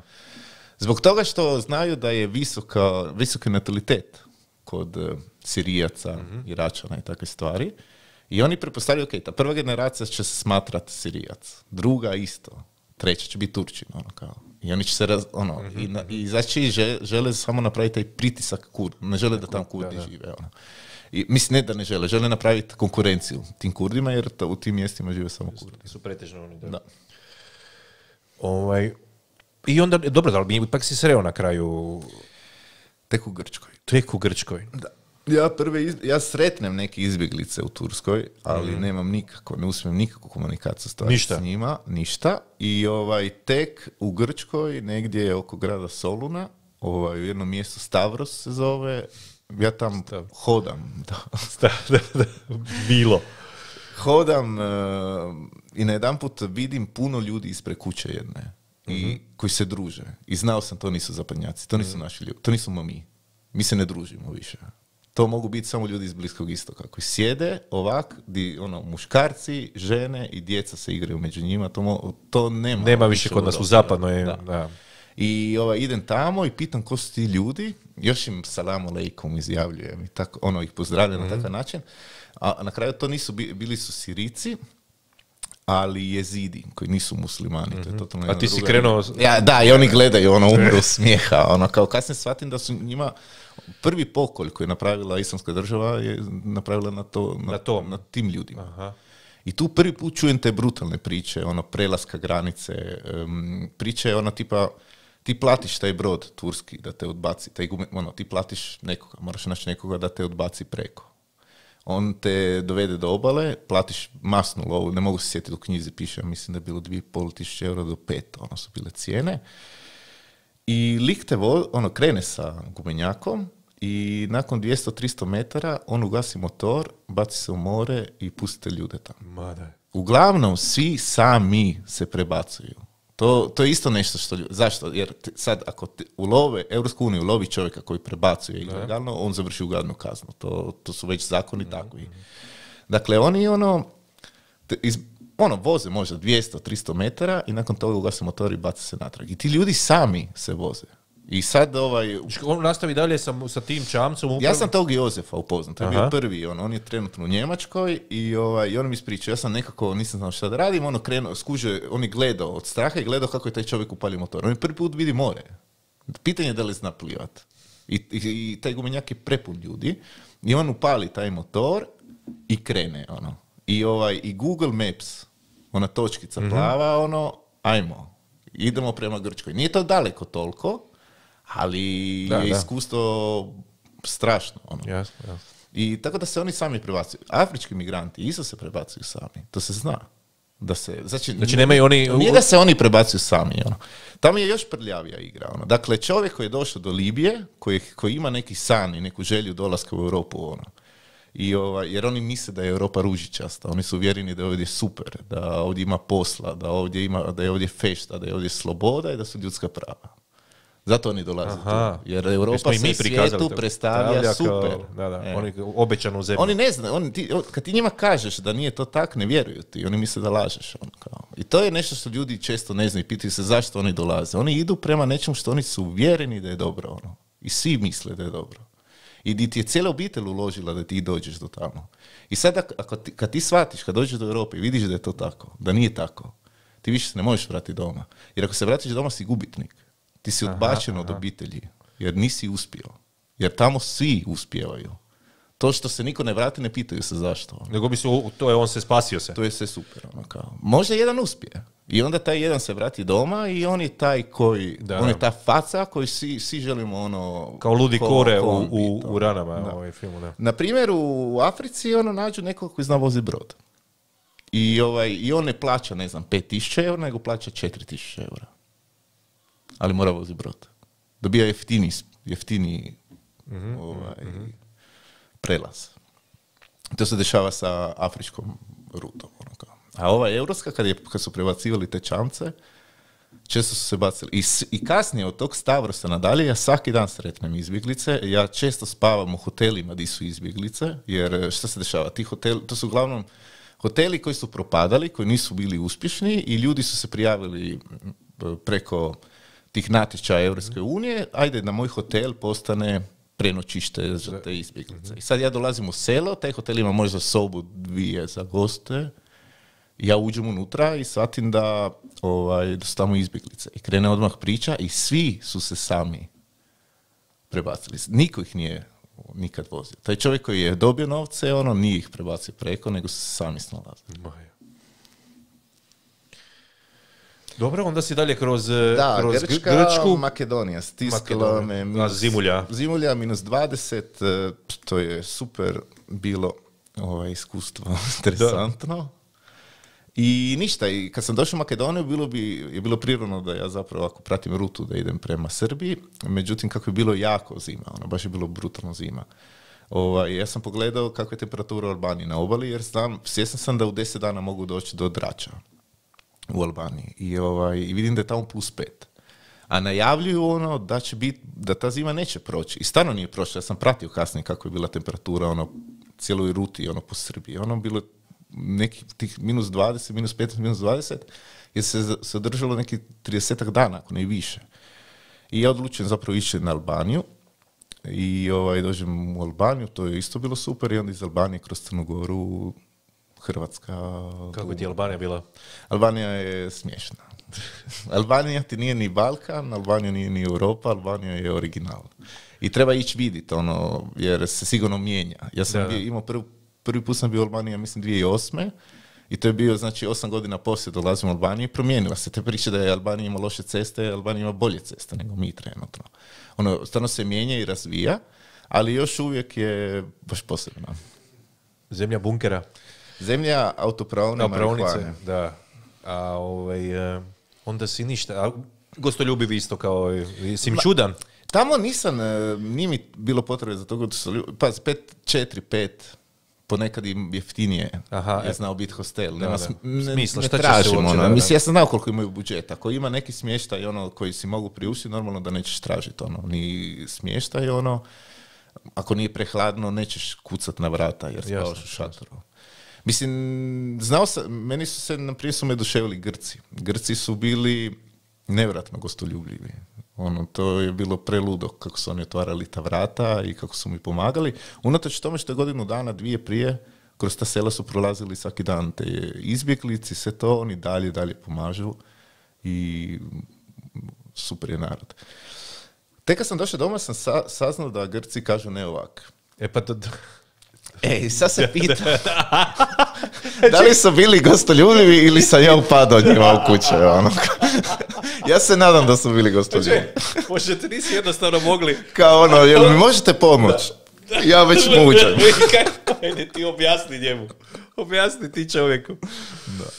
Dobro, ovaj, e, onda si u biti isto uz našu obalu, uz više uz, uz more išao prema doma. Inače si imao cijelo vrijeme i ovaj jedan štap, to je, do kraja si ga... Da, to je moj štap. Ono, s tim štapom sam hodao prema Ribu, to je štap koji sam ja na otoku Cresu našao kad em, sam vodio svoju devojku na romantičan vikend na otoku Cresu i napale, mislim napale, okružile su nas divlje svinje i tada sam ja kao i da spasim Spasi. situaciju, uzeo neki štap, svinje su srećom otišle ča i pogledao taj štap, super je štap. ono, I ovaj, te godine sam trebao ići za Rim, da, to je bilo te dvije, da je, 2012. I Od onda sam- masline je to ili nije? od masline, da. da. Super štap. Da, u Hr- ono, Crna Gora, Hrvatska, ono, znači imaš granični prelaz Crna Gora je dole, onda počne uzbrdo ide, dođeš do hrvatske granice, uđeš u Hrvatsku i počne se nizbrdo. Cesta do Dubrovnika. To je isto simbolika, Da, interesantna, da. ono, kao čim uđeš kod nas, ono, krene se nizbrdo.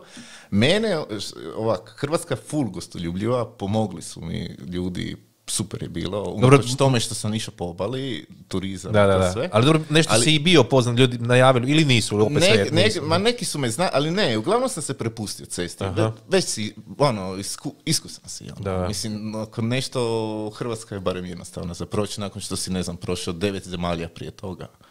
I ovaj, ali te kontrole policijske, to je bilo presmiješno. Ono. Dakle, ja sam imao kontrolu tu tajne policije u Jordanu, Jordanu. u Turskoj su mi pregledali putovnicu i dok su mi pregledavali putovnicu su mi davali smokve, ono da se ne, one suhe smokve da jedem, da kao da ne, mi ne bude neugodno što su me oni zaustavili i pregledali. U Grčkoj su me dva puta zaustavili, jednom da mi ponude pomoć na tih minus 20 su mislili kao jel tebe neko tjera da hodaš, ono da ti pomognemo. Dobro. Jednom su mi pregledali, stvarno su mi rekli, gle, ovdje smo već na granici, daj, samo mi daj putovnicu da vidimo da li se u redu. I ja sam se od hotela Zagreb spustio do centra dolje dva puta pretres. Znači to je 500 metara, dva puta. Znači prva, ja kažem, pa sad su me gore. Mm. Mi smo druga patrola. Ajmo sve iz džepova. Koji šta, tako da... Ne, ne, čuvaju nas, čuvaju Da. nas, e, na sigurno smo, nemamo se čega bojati. Tako da, da. Sigurnost i povjerenje. Da, da. Ali reci mi, malo si se, e, čak si se malo i odužio taj put, kod da ti se nije htjelo... Ne, nije mi se išlo doma. Nije ti se išlo Ma doma. ne, super je bilo, slobodan si, ne gledaš sat. Jedino što gledaš sat je na večer kad namjestiš alarm da te probudi ujutro i uživaš, ono, divno je, pogotovo kad si... Ja sam tek na, u Livadama odlučio da ću ja stvarno stati u Umagu. Meni je bila otvorena opcija Da ti do. Livada, da ja dođem u Umag i nakon Umaga nastavim dalje prema Sahari, zapravo spajanje dvo, ono kao, jer sam rekao šta, lijepo ono, Italija, ono, iz Italije Francuska, onda se zalijepim na Camino i Santiago, u Camino i Santiago mogu biti lijepljen na njega skroz do Lisabona, iz Lisabona ulazim u Maroko i Da, da. idem do Sahare. I u Livadama sam osvijestio da sam umoran. Da. I rekao sam, man, Ne, to je to. to je to, a? Ali interesantno da je stvarno postojala ta Znači mi želja. miru startufa ovaj opet. Jesi čuo Roni? E. Dobro, i? Da, ne, ništa, došao do Umaga i... I to, to bilo je i doček i ovo na kraju si napisao tu knjigu Da, koja se zove svilim. Svilim. Znači 3300 km pješice po izbjegličkoj ruti Goran Blažević. Bio si tada malo, ovaj, ja sam te tada vidio na, isto na, na televiziji negdje, ali bio si puni, ti si udebljio za tim putem. Da, ja sam puno pašte. Da. Da. Ne, to, to je da, to je putovanje gdje se zapravo svi očekuju da dođeš doma mršav i ja sam očekivao da ću doći bez ikakve ono, ko štrklja neki. Ja sam se vratio, mislim da sam imao desetak kila više nego. Sam 3300 km ti si Da, i 10 kila, plus 10 kila. I ovaj, znam zapravo, cijelo vrijeme sam žderao te mm, ugljikohidrate brutalno puno i kako sam došao, kad sam prešao, kad sam ušao u Hrvatsku, ovaj, kilometraža se puno smanjila, mm, ja sam brutalno jeo i normalno da dođeš doma debel. Da. Inače, knjigu isto možete naručiti na Da. tvome... Ne, dobro, tu knjigu se već može nabaviti po knjižarama, Knjižarama. raznim, tako da je do nje puno lakše doći. E, Biće i karavana uskoro, ali trenutno kako je karavana Da. nova, ovaj, ne da mi ovaj... Po, po... Zapravo ideja je da bu- budu predavanje, da inspiriramo ljude da dođu na predavanje i da prvi dobe priliku kupiti oni koji su došli na predavanje. Dakle, i to u biti i radiš, samo te malo sad ova situacija Sad je malo bilo da, ali i opet se uspjelo, Uspjelo nešto odradi, nije se uspjelo sve, em, puno je toga odgođeno, nadam se da će biti prilike u 10. i 11. mjesecu odraditi te stvari koje su, koje su se morale odgoditi. Evo, dragi čitatelji, gledatelji, slušaoci, također možete naručiti te dvije. A inače, ako se reklamirate u našem podcastu, e, postoje istraživanja, pazi kako to kaže, postoje istraživanja da je 70% veća šansa ako se reklamirate u podcastu nego u drugim klasičnim medijima. Pa šta čekate? E, još sam e, htio, znači, Japan. Japan 2018. Da, nakon tog velikog hodanja, e, zajedno sa Majom, sa svojom partnericom u Japan, e, jedno putovanje koje se zove putovanje 88 hramova, e, otok Shikoku, najmanji otok u Japanu. To je kružni žir oko tog otoka, treba ući u tih 88 hramova. Priča prati, to je pratimo priču jednog bitnog duhovnog učitelja u Japanu, e, Koboda Ishi se zove. Em, hodočasnik se tamo oblači u jedan kimono. E, po- ponovno, mene je jako privlačila ta priča, jer taj kimono otvara ti vrata ljudi, daje ti mogućnost tog e, gostoprinstva zbog toga što se vjeruje da, svaki, da pored svakog hodočasnika hoda taj učitelj i ljudi imaju naviku pozivati te hodočasnike doma, davati im neke sitne poklone i takve stvari, jer vjeruju ako je ušao hodočasnik u kuću, da je ušao i učitelj, odnosno da je ta kuća blagoslovljena. I super, super priča. E, Ili imaju onako one papirnate one zidove? Ko... da, da, da. Imaju. Još toga, ono. Da, da, mislim, oni zapravo žive u nekom papirnatom Znači, kućama. da, znači da onaj u dnevnoj sobi da, da je pe, 10 metara dalje bude pet pregrada, pregrada o, o, to se sve čuje, ili ne? Tako Da, ja to se zamišljam. čuje, da. Zapravo da. To ćeš ti mlađo mora staviti pregrade. Mogu bi, da. Ako hrčeš. Hrče.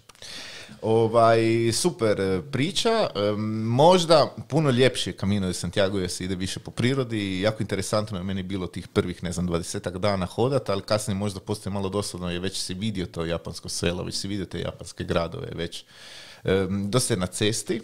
Na početku da- su te odišivljavali sa svojom...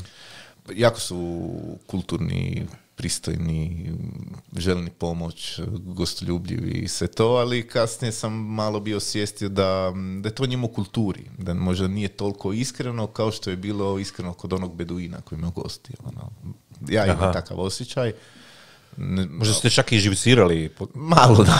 Ti redovi njihovi. De- Znaš, redovi, ono sve- sve, fino, sve ono. I sve super. Oni imaju, dok funkcionira sustav, super. Kad na jedan put, na primjer, taj stroj koji moramo kupiti kartu se razbije, on više ne zna kako ja. Aha, nema... I nema tamo vidiš, tamo je tada nastaje kaos. Ono. A vidiš kako Arap improvizira sa vodom i E, ovo. on, Japanac ne zna improvizirati, uopće ne zna improvizirati i to je interesantno bilo vidjeti, ali mm, super iskustvo, e, ponovno često su nam znali otvoriti vrata, ono sre- sreli smo tu ljudsku dobrotu, meni je drago da sam to prohodao, da li bi se vratio na Shikoku i na ne bi, ne bi išao više napraviti tu rutu, možda bi išao neku drugu rutu po Japanu raditi, dok na Camino de Santiago bi se vratio Uvijek. odmah. Da, jer je lije, ono, lijepo, u prirodi si, sretniš ljude, sve super. Evo sad možemo odmah pozvati ljude proguglaju. Imaju biti sajtovi koji ti su vodiči za Što to. se tiče tog Shikoku je malo teže ono, dobiti neke informacije jer em, to je novo hodočašće, ono koje, pff, mislim novo, kad, nije novo, on je jako staro, staro drevno hodočašće, ali počelo je možda mo- prije deseta godina ta priča. Lijepo je označen, moguće ga naći, samo treba ukucati Shikoku 88 i to je to. Mož, moguće pronaći neke blogove. Imam, mislim, ja sam pisao blog e, Da li ima ga na, na blog večernji i na... Dakle, da, tada sam pisao još za večernji, na večernjem listu. I pun tako- kufer, jel? I da, i moja pa, ma, to je bitno, Maja je napisala knjigu Da. koja se zove, da, o toj priči, tako da zapravo i kroz njezinu knjigu može se saznati neke informacije. Ali vi ste, evo, i čekate sada dijete, vi ste, dobro bi rekli, hoda- hodači, našli ste se, ovaj... Da, našli smo se, ma dobro, mi smo se našli kroz, e, u krivom putu u Zagrebu. To je, krivom putu, Da, wrong way. Da, da smo se u tom mjestu upoznali i počeli smo putovati prvo ko prijatelji, kasnije je nastala ta ljubav i od tada smo partneri e, životni i Da. I onda na kraju, ovo zadnja tvoja avantura je biciklom po... Biciklom Po od, Sahari. Da, Sahari. Ponovno neka ideja je bila da pratim migrantsku rutu. E, Dakle, u Africi imaš tri rute e, migrantske i jedna ti kreće iz Dakara i prati obalu.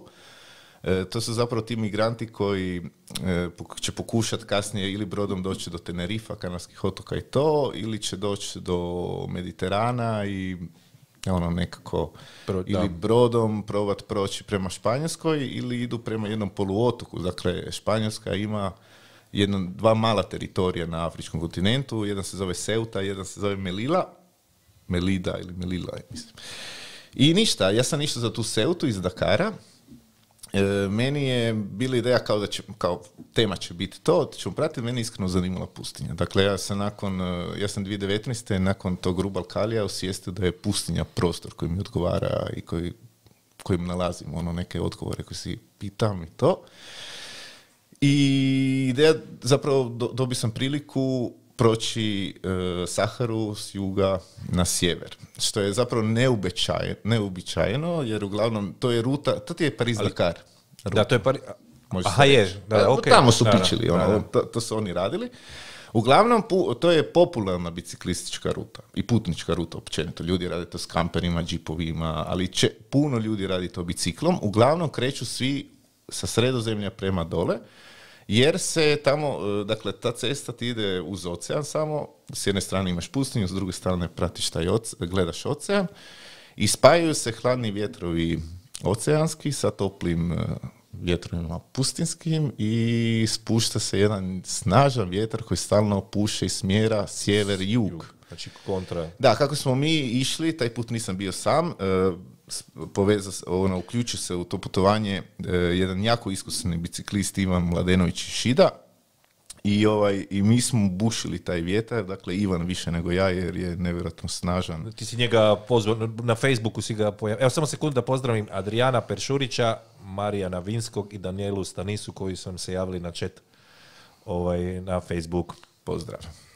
I, i malo su nas ishvalili to. Hvala. Ivana Mladenovića sam upoznao dok sam hodao iz Jordana prema Hrvatskoj. Najedanput e, neki tip preko Facebooka mi se javlja, želi mi pomoć, e, sred smještaj u Tel Avivu, trudi se ko luđak ne uspije.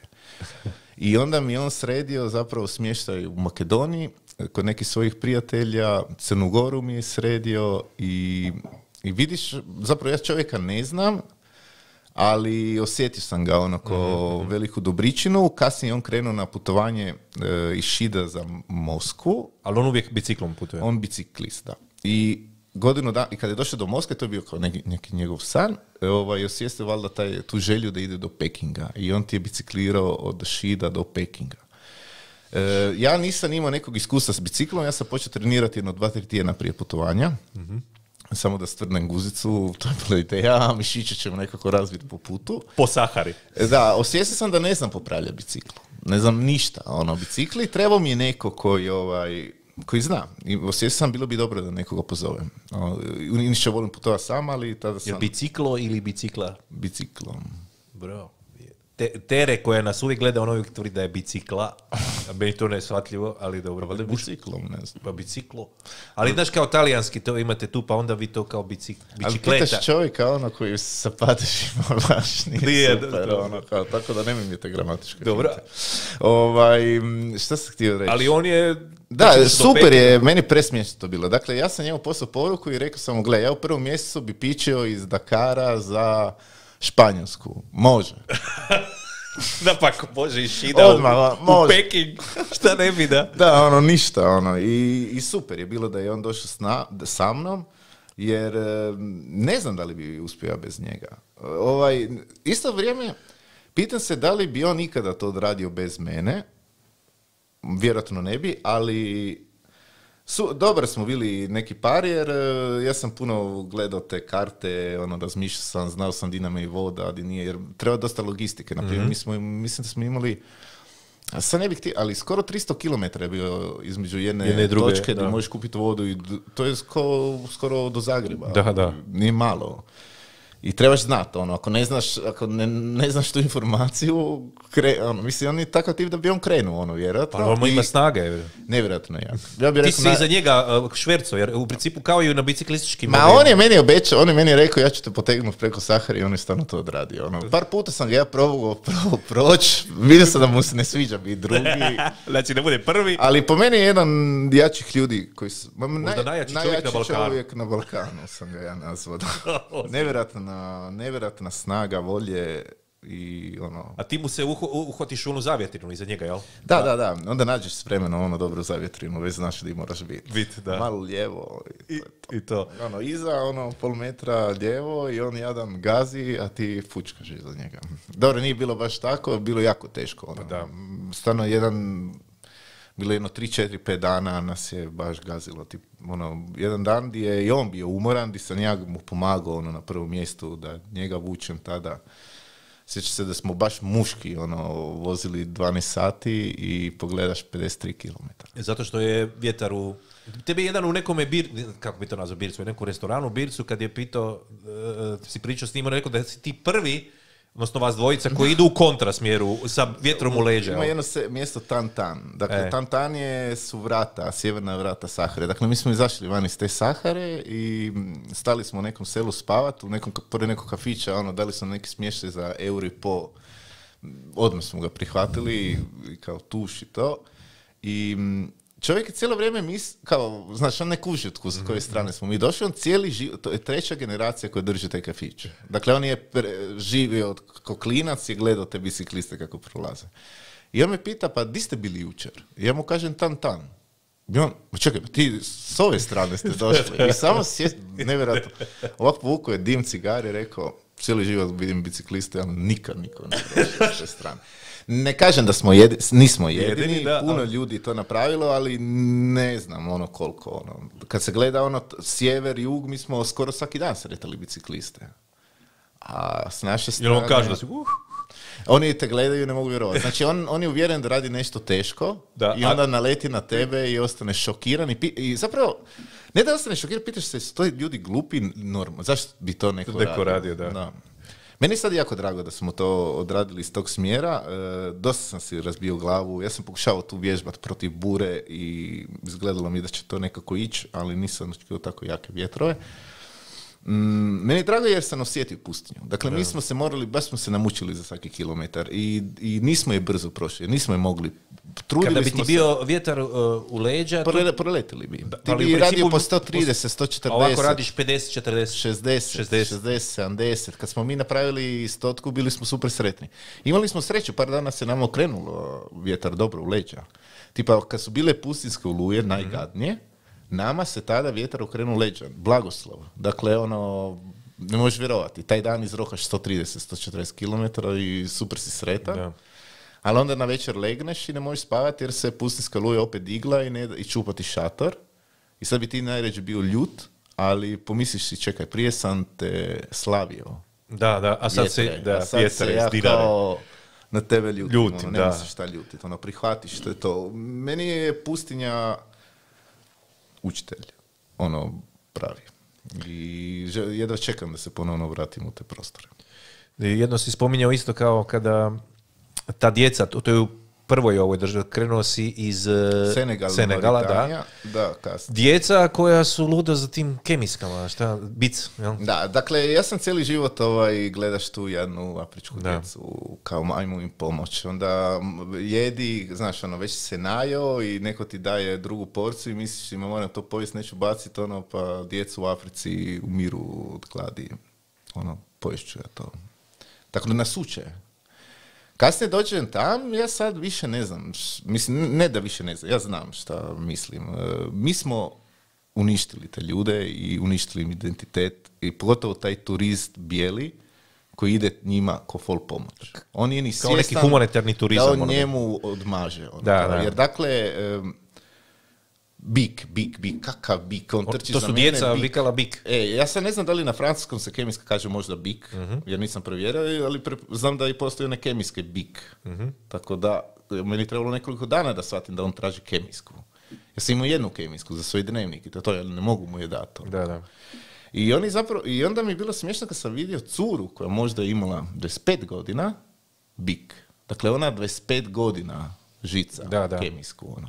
I kasnije sam shvatio što se dešava. Dakle, kako ti kažeš, to je popularna ruta gdje prolaze ljudi sa kamperima, džipovima i takve stvari.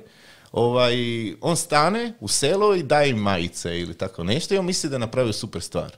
Nije napravio ništa. Ono. Dakle, uništio je tog čovjeka i taj čovjek je kad vidi bijelca je uvjeren da taj bijelac ima moć, da taj bijelac ima para, da ima mogućnost da on njemu pomogne i da mu nešto daje. A ovaj, ali ja mislim da bi mi njih morali inspirirati da nešto, da oni sami, Sami, stvaraju. Jer oni bi mogli sami, oni su vrijedni, pokazuju se da su vrijedni. Pa čovječe, u Americi su, cijela Amerika se digla, Je, je, nažalost, na crnom roblju koji je iz, dolazi iz tih zemalja. ono. Dakle, ali ne znaju kako, ono. I umjesto da idemo tamo, da pokrećemo neke, ono, kad dođe neko tamo, dolazi da ih iskoristiti, ono, pokreću se ratovi, ono. Kongo je nevjerojatno bogata zemlja sa najviše minerala, ne znam ja čega nema, ono, kaos. Samo da im pustiš da oni sami s tim upravljaju. Da Da, im... da im daš smjernice Da, možda da. neke, već što imamo to iskustvo, ono. Da, Da. to bi bilo to. A ne da im daš majice i ideš ča i misliš da si riješio stvar. Jer onda šta se dešava? Onda dolazi jedan biciklist poput mene, kontra vjetra, i ja ne mogu bježati od njih. On trči. Ali ti Taj vjetar mali ne da- Mauritanac zna trčati. On trči kilometrima za tobom, a ja ne mogu postići brzinu neku veliku jer je vjetar u- vjetar u prsa. Ono. Ništa, pet kilometara za tobom i bic, bic, bic, bic. Da, da. I Bic. Bik. to je bilo ludo. Da. Ali unatoč tom siromaštvu, unatoč tome što... mm, da, mi smo ih dosta zeznuli. Da. To, svjetlost u očima tih ljudi je nevjerojatno. Da. Volj, ono, ta sreća, ono, to je njihov osmijeh. On nema ništa, a on, a oni, s- o- njima je okej. Bolje nego nama koji imamo puno stvari, a često smo, ma ne često, kad gledaš vani, ono, puno ljudi nam mrgođeno. Da, da. Ujutro, ono, te već čovjek trubi psuje nešto. A pogledaj si sam tu kada neki puta i sam se uhvatiš u tom nekom... uh, Ma često ja vidim Da, sebe, da, pa ono, je. kao, kako sam blesav, ono, i kako se, ne znam, dopustim da me nešto preuzme. Preuzme. Da, mi, da mi slomi taj mir koji imam e, i da uđem u kaos i shvatiš zapravo da si, ono, malo daj, budi zahvalan, ono, živimo u predivnom mjestu, imamo šta za jest, ono. O, je, je, moglo bi biti bolje, ali Da. Moglo bi puno gore. Onda si Senegala, kud si, u, u kako se zove, ma... Senegal, Mauritanija. Mauritanija, da. Da, Mauritanija, zapravo tam su se dešavale najviše. Tu sam primijetio taj... Ona je kao i opasna. Ma navodno je opasna. Gle, svugdje, na primjer kad je bilo to hodanje, kad sam krenuo na to hodanje, kad se, kad se vratio, svi su imali tu priču, ono, ti si brutalno hrabar, ono. Da. Ma vraga sam hrabar, ono, samo sam imao volje. Meni je veća hrabrost, ono, dići kredit na 40 godina, ono, za pokrenuti neki biznis. To je meni hrabro. Da. Ono, znači, biti dužan čitav život banci. To je meni nevjerojatna hrabrost, ono. Ja tu hrabrost nemam, ono. Ja to- Ali ćeš otići u, u pustinju. ali imamo hrabrost ići u pustinu, ne znam, on, možda imam vremena, imam volje, imam volje to Da, da. ono. Ali, ovaj, e, da, što se tiče opasnosti, kad sam gledao, pratio sam u prošlosti prije tog svog velikog hodanja nekoliko hodača koji su radili, ono, Facebook, YouTube i te stvari. Imaš jednog ludog Japanca koji je hodao pet godina. Svaki dan, ne znam koliko je hodao, 56 km, pot, skupili neke potpise za mir. Jednom su ga opljačkali. Znaš gdje su ga opljačkali? U Taru. Kod nas, u Taru. Da.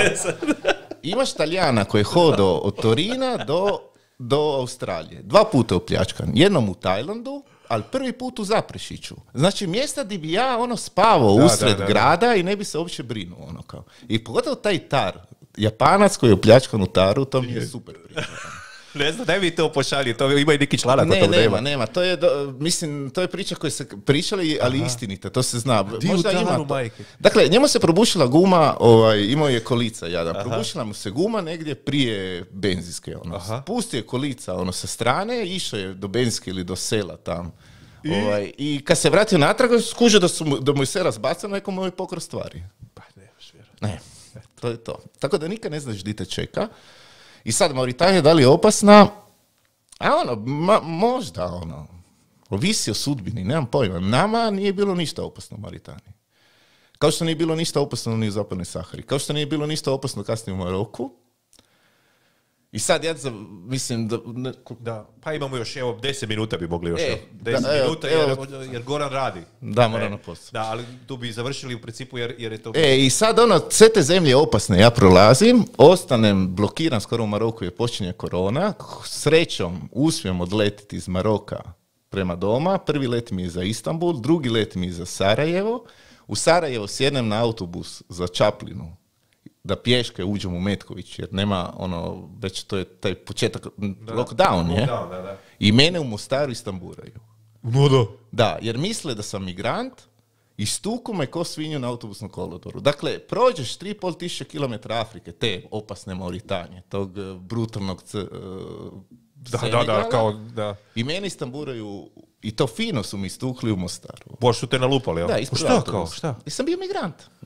Oni su bili uvjereni da sam Pa jesi mi objasnio? Cigići su mi istukli, sam ja sam mislio da su oni migranti i oni su mislili da sam ja migrant. Kasnije smo se mi dogovorili, ali u međuvremenu sam dobio Ali batina. mi batina, da, nisi Da, baš su me lijepo is- istukli. Takav nesporazum nisi doživio u, Senegalu ili u, U Senegalu sam samo dobio osmijeh, ono. da. Dobio sam e, podršku od tih ljudi. Tako da nikad ne znaš di te čeka. I Jedva čeka. si došao na kraju Da, kući. ono, šepajući sam došao do granice, to je bilo presmiješno. Ono, policajci nisu znali šta da rade, samo ono, oni su se kidali u smijeha, ono, malo si krvav tu, ono. Super je, meni drago, da, mi- mislim nije mi drago da sam dobio batina, ono, ali gle, dogodilo se iskustvo. Ja sam zapravo osjetio rasizam koji se, koji imigrant, zašto su oni meni, meni su pljačkali oni sve, ukrali su mi sve, ali kasnije su mi vratili sve. Jer smo počeli pričati na jedanput na hrvatski. Ja sam skužio da oni pričaju hrvatski. Prvo kad su oni došli do mene je bilo engleski. Ja sam mislio migranti. A oni mislili da sam ja migrant. Kasnije on počne pričati hrvatski, ja mu kažem da, ja mi vrati sve. On se šokira i vraća mi sve. Prvo jedan, pa drugi, pa treći. I ovaj, zašto su mi vratili? Sam Hrvat. Ovaj, jer znam jezik. Da, da. Migrant ne može na policiji prijaviti ništa. Dakle, dogodilo se da sam ja osjetio rasizam koji migranti svakodnevno osjećaju na svojoj kosti zbog toga što ne mogu normalno ići na policiju prijaviti ono nešto. ono. Tako da meni je drago za, da su mi istamburali, da sam imao to iskustvo, osjećam se bogati, nemam ništa protiv Roma, još uvijek volim tu kulturu i Bio ne, nesporazum, ali kažem, Dogodilo opet je i, i ta situacija da da u principu da si bio migrant i ne bi praktički ništa tu mogao, ništa, kom bi si Ne, ja bi ostao bez ičega. Ali vjerojatno bi ostao već prije. Da. Ne bi trebalo do Mostara. Da, da, da. ostati Bez svega. Dobro, evo, još bi za kraj e, rekli da ljudima da još možete znači, naručiti te dvije knjige kod nas u podcastu kad nešto izreklamiraš, to ti je 70% veća šansa da ti ovaj... Super. E, Javit ću ti. I ovaj, e, Možda da možeš, poklonimo nekome jednu A knjigu. nemaš, nemaš. A ne, Ma možemo mi pokloniti jednu karavanu, neko ali ja sam iskreno inbox, tebi pokloniti karavanu. Neko ko se javi Ko u meni inbox. si mislio, pok- Da, sa meni a- si mislio, ma ne dam svilima- nikom, ako će mi on pokloniti karavanu, ne dam nikom. A svilima, nažalost, ne poklanjam jer je- sam ostao Na zadnjim- na zadnjim brojkama, tako da mi trebaju. A nećemo, onda, onda ćemo karavanu možda, možemo, ko se prvi javi u komentar? Pa jedino tako, da. Ajde, ko se prvi javi na komentar na Facebook, meni, Tin Veljković, ti ne, nećeš ti ne, ti dobiti, ti si ostavio zadnji put knjigu, ne možeš ti dobiti. Tina ćemo voziti u Twingaču. U Twingaču ćemo ga voziti. Ajmo sljedeći, ne možeš, ti ne, brate, ne možeš, ti si mi gost. Može posuditi u knjižnici. Da, može, da, i još ćemo ti izgubiti ovu tvoju koju si nam ostavio. Ne, ne, gore na poli. A je, je, da, pazit ćemo. Zalijepili. Uh, ajde, valjda će se neko javiti. Osim, ako ne, onda ću morat dati Tinu. Ne tvoja. Ako ne moja, meni, Nemoj njemu Ivana, da- ne znam koji je taj ti. Ivana Lovrić. Tin je bio zadnji put gost, ono što je bio obučen u Njemca. A, da. Pa kako ćemo njemu da... Ivana Lovrić dobila si knjigu Karavana. Evo, evo. Ja se obvezujem da ti ja pošaljem, ne, jel tako? Možemo još... Šta je bilo? Ništa, ništa, A, proba, ništa. proba. Možemo još za kraj, evo i uvijek imat ćemo svaki puta u emisiji e, ovaj e, edukativni dio gdje će naš gost izvući iz, iz hiljadu zašto, hiljadu zato, da vidimo šta si izvukao. Kako su Egipćani čuvali mumije? Da. Nije valjda da ćemo Čekaj, sad- odgovor? sad- Pa nećeš sve čitati, možeš malo preletiti, ti si disleksičar ko ja, ti samo Da. preletiš i odmah kažeš kako su čuvali. Mumije, ono, pa stvarali, ono, zamotali su ih. To znam. I balzamirali, vidiš, Bo- to evo, ide pa- dalje. Zna, To je to. zna čovjek. Pićim na noćna me zove. Da, da znam. Tako da nećemo sad zezati. Ovaj, mm, da, super. Eto. E, hvala ti puno što si bio, ja bi s tobom pričao još i, i duže, ali evo, možda ćemo se malo i družiti, možda ćemo nešto i surađivati. Mislim, ja s tobom ne bi baš rekao sam ti iz kog razloga. Evo, molim te još mi objasniti to za WC u dvije minute. Znači, problem je kad si u arabskom svijetu, a ti, e, oni imaju... Ako oni si ovisan na WC papiru ono i da ne znaš drugo rješavati, onda ti je malo problem, da. Jer nemaš di, nemaš vodokotlić.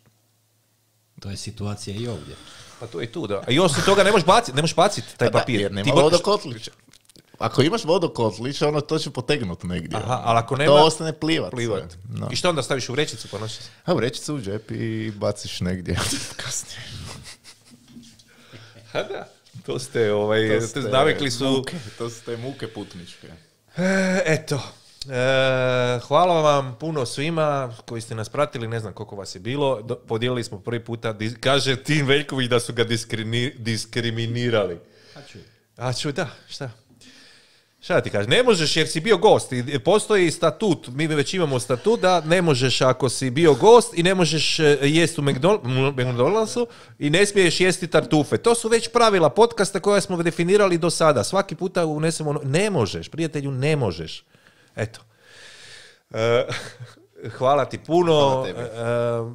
E, eto, možda, kad ne znam, možda, će, možda treba nešto to slagati od materijala. Ti si meni baš inspiracija za, za sve i baš ti se divim na tim tvojim, ovaj, i da je tako neko blizu mene, nisam ni znao da, eto, da, Hvala ti. eto, To je isto primjer, evo, može se, nije bitno di si rođen, e, nije bitno da li znaš pričat hrvatski, ne znaš pričat, e, Da. može se sve kad se želi Sve. i ono samo treba, ima taj cilj. tako je, da. Hvala vam svima, Č- vidimo se sljedeću srijedu, ako bude sve u redu. Jel tako, režija? Je. Pozdrav.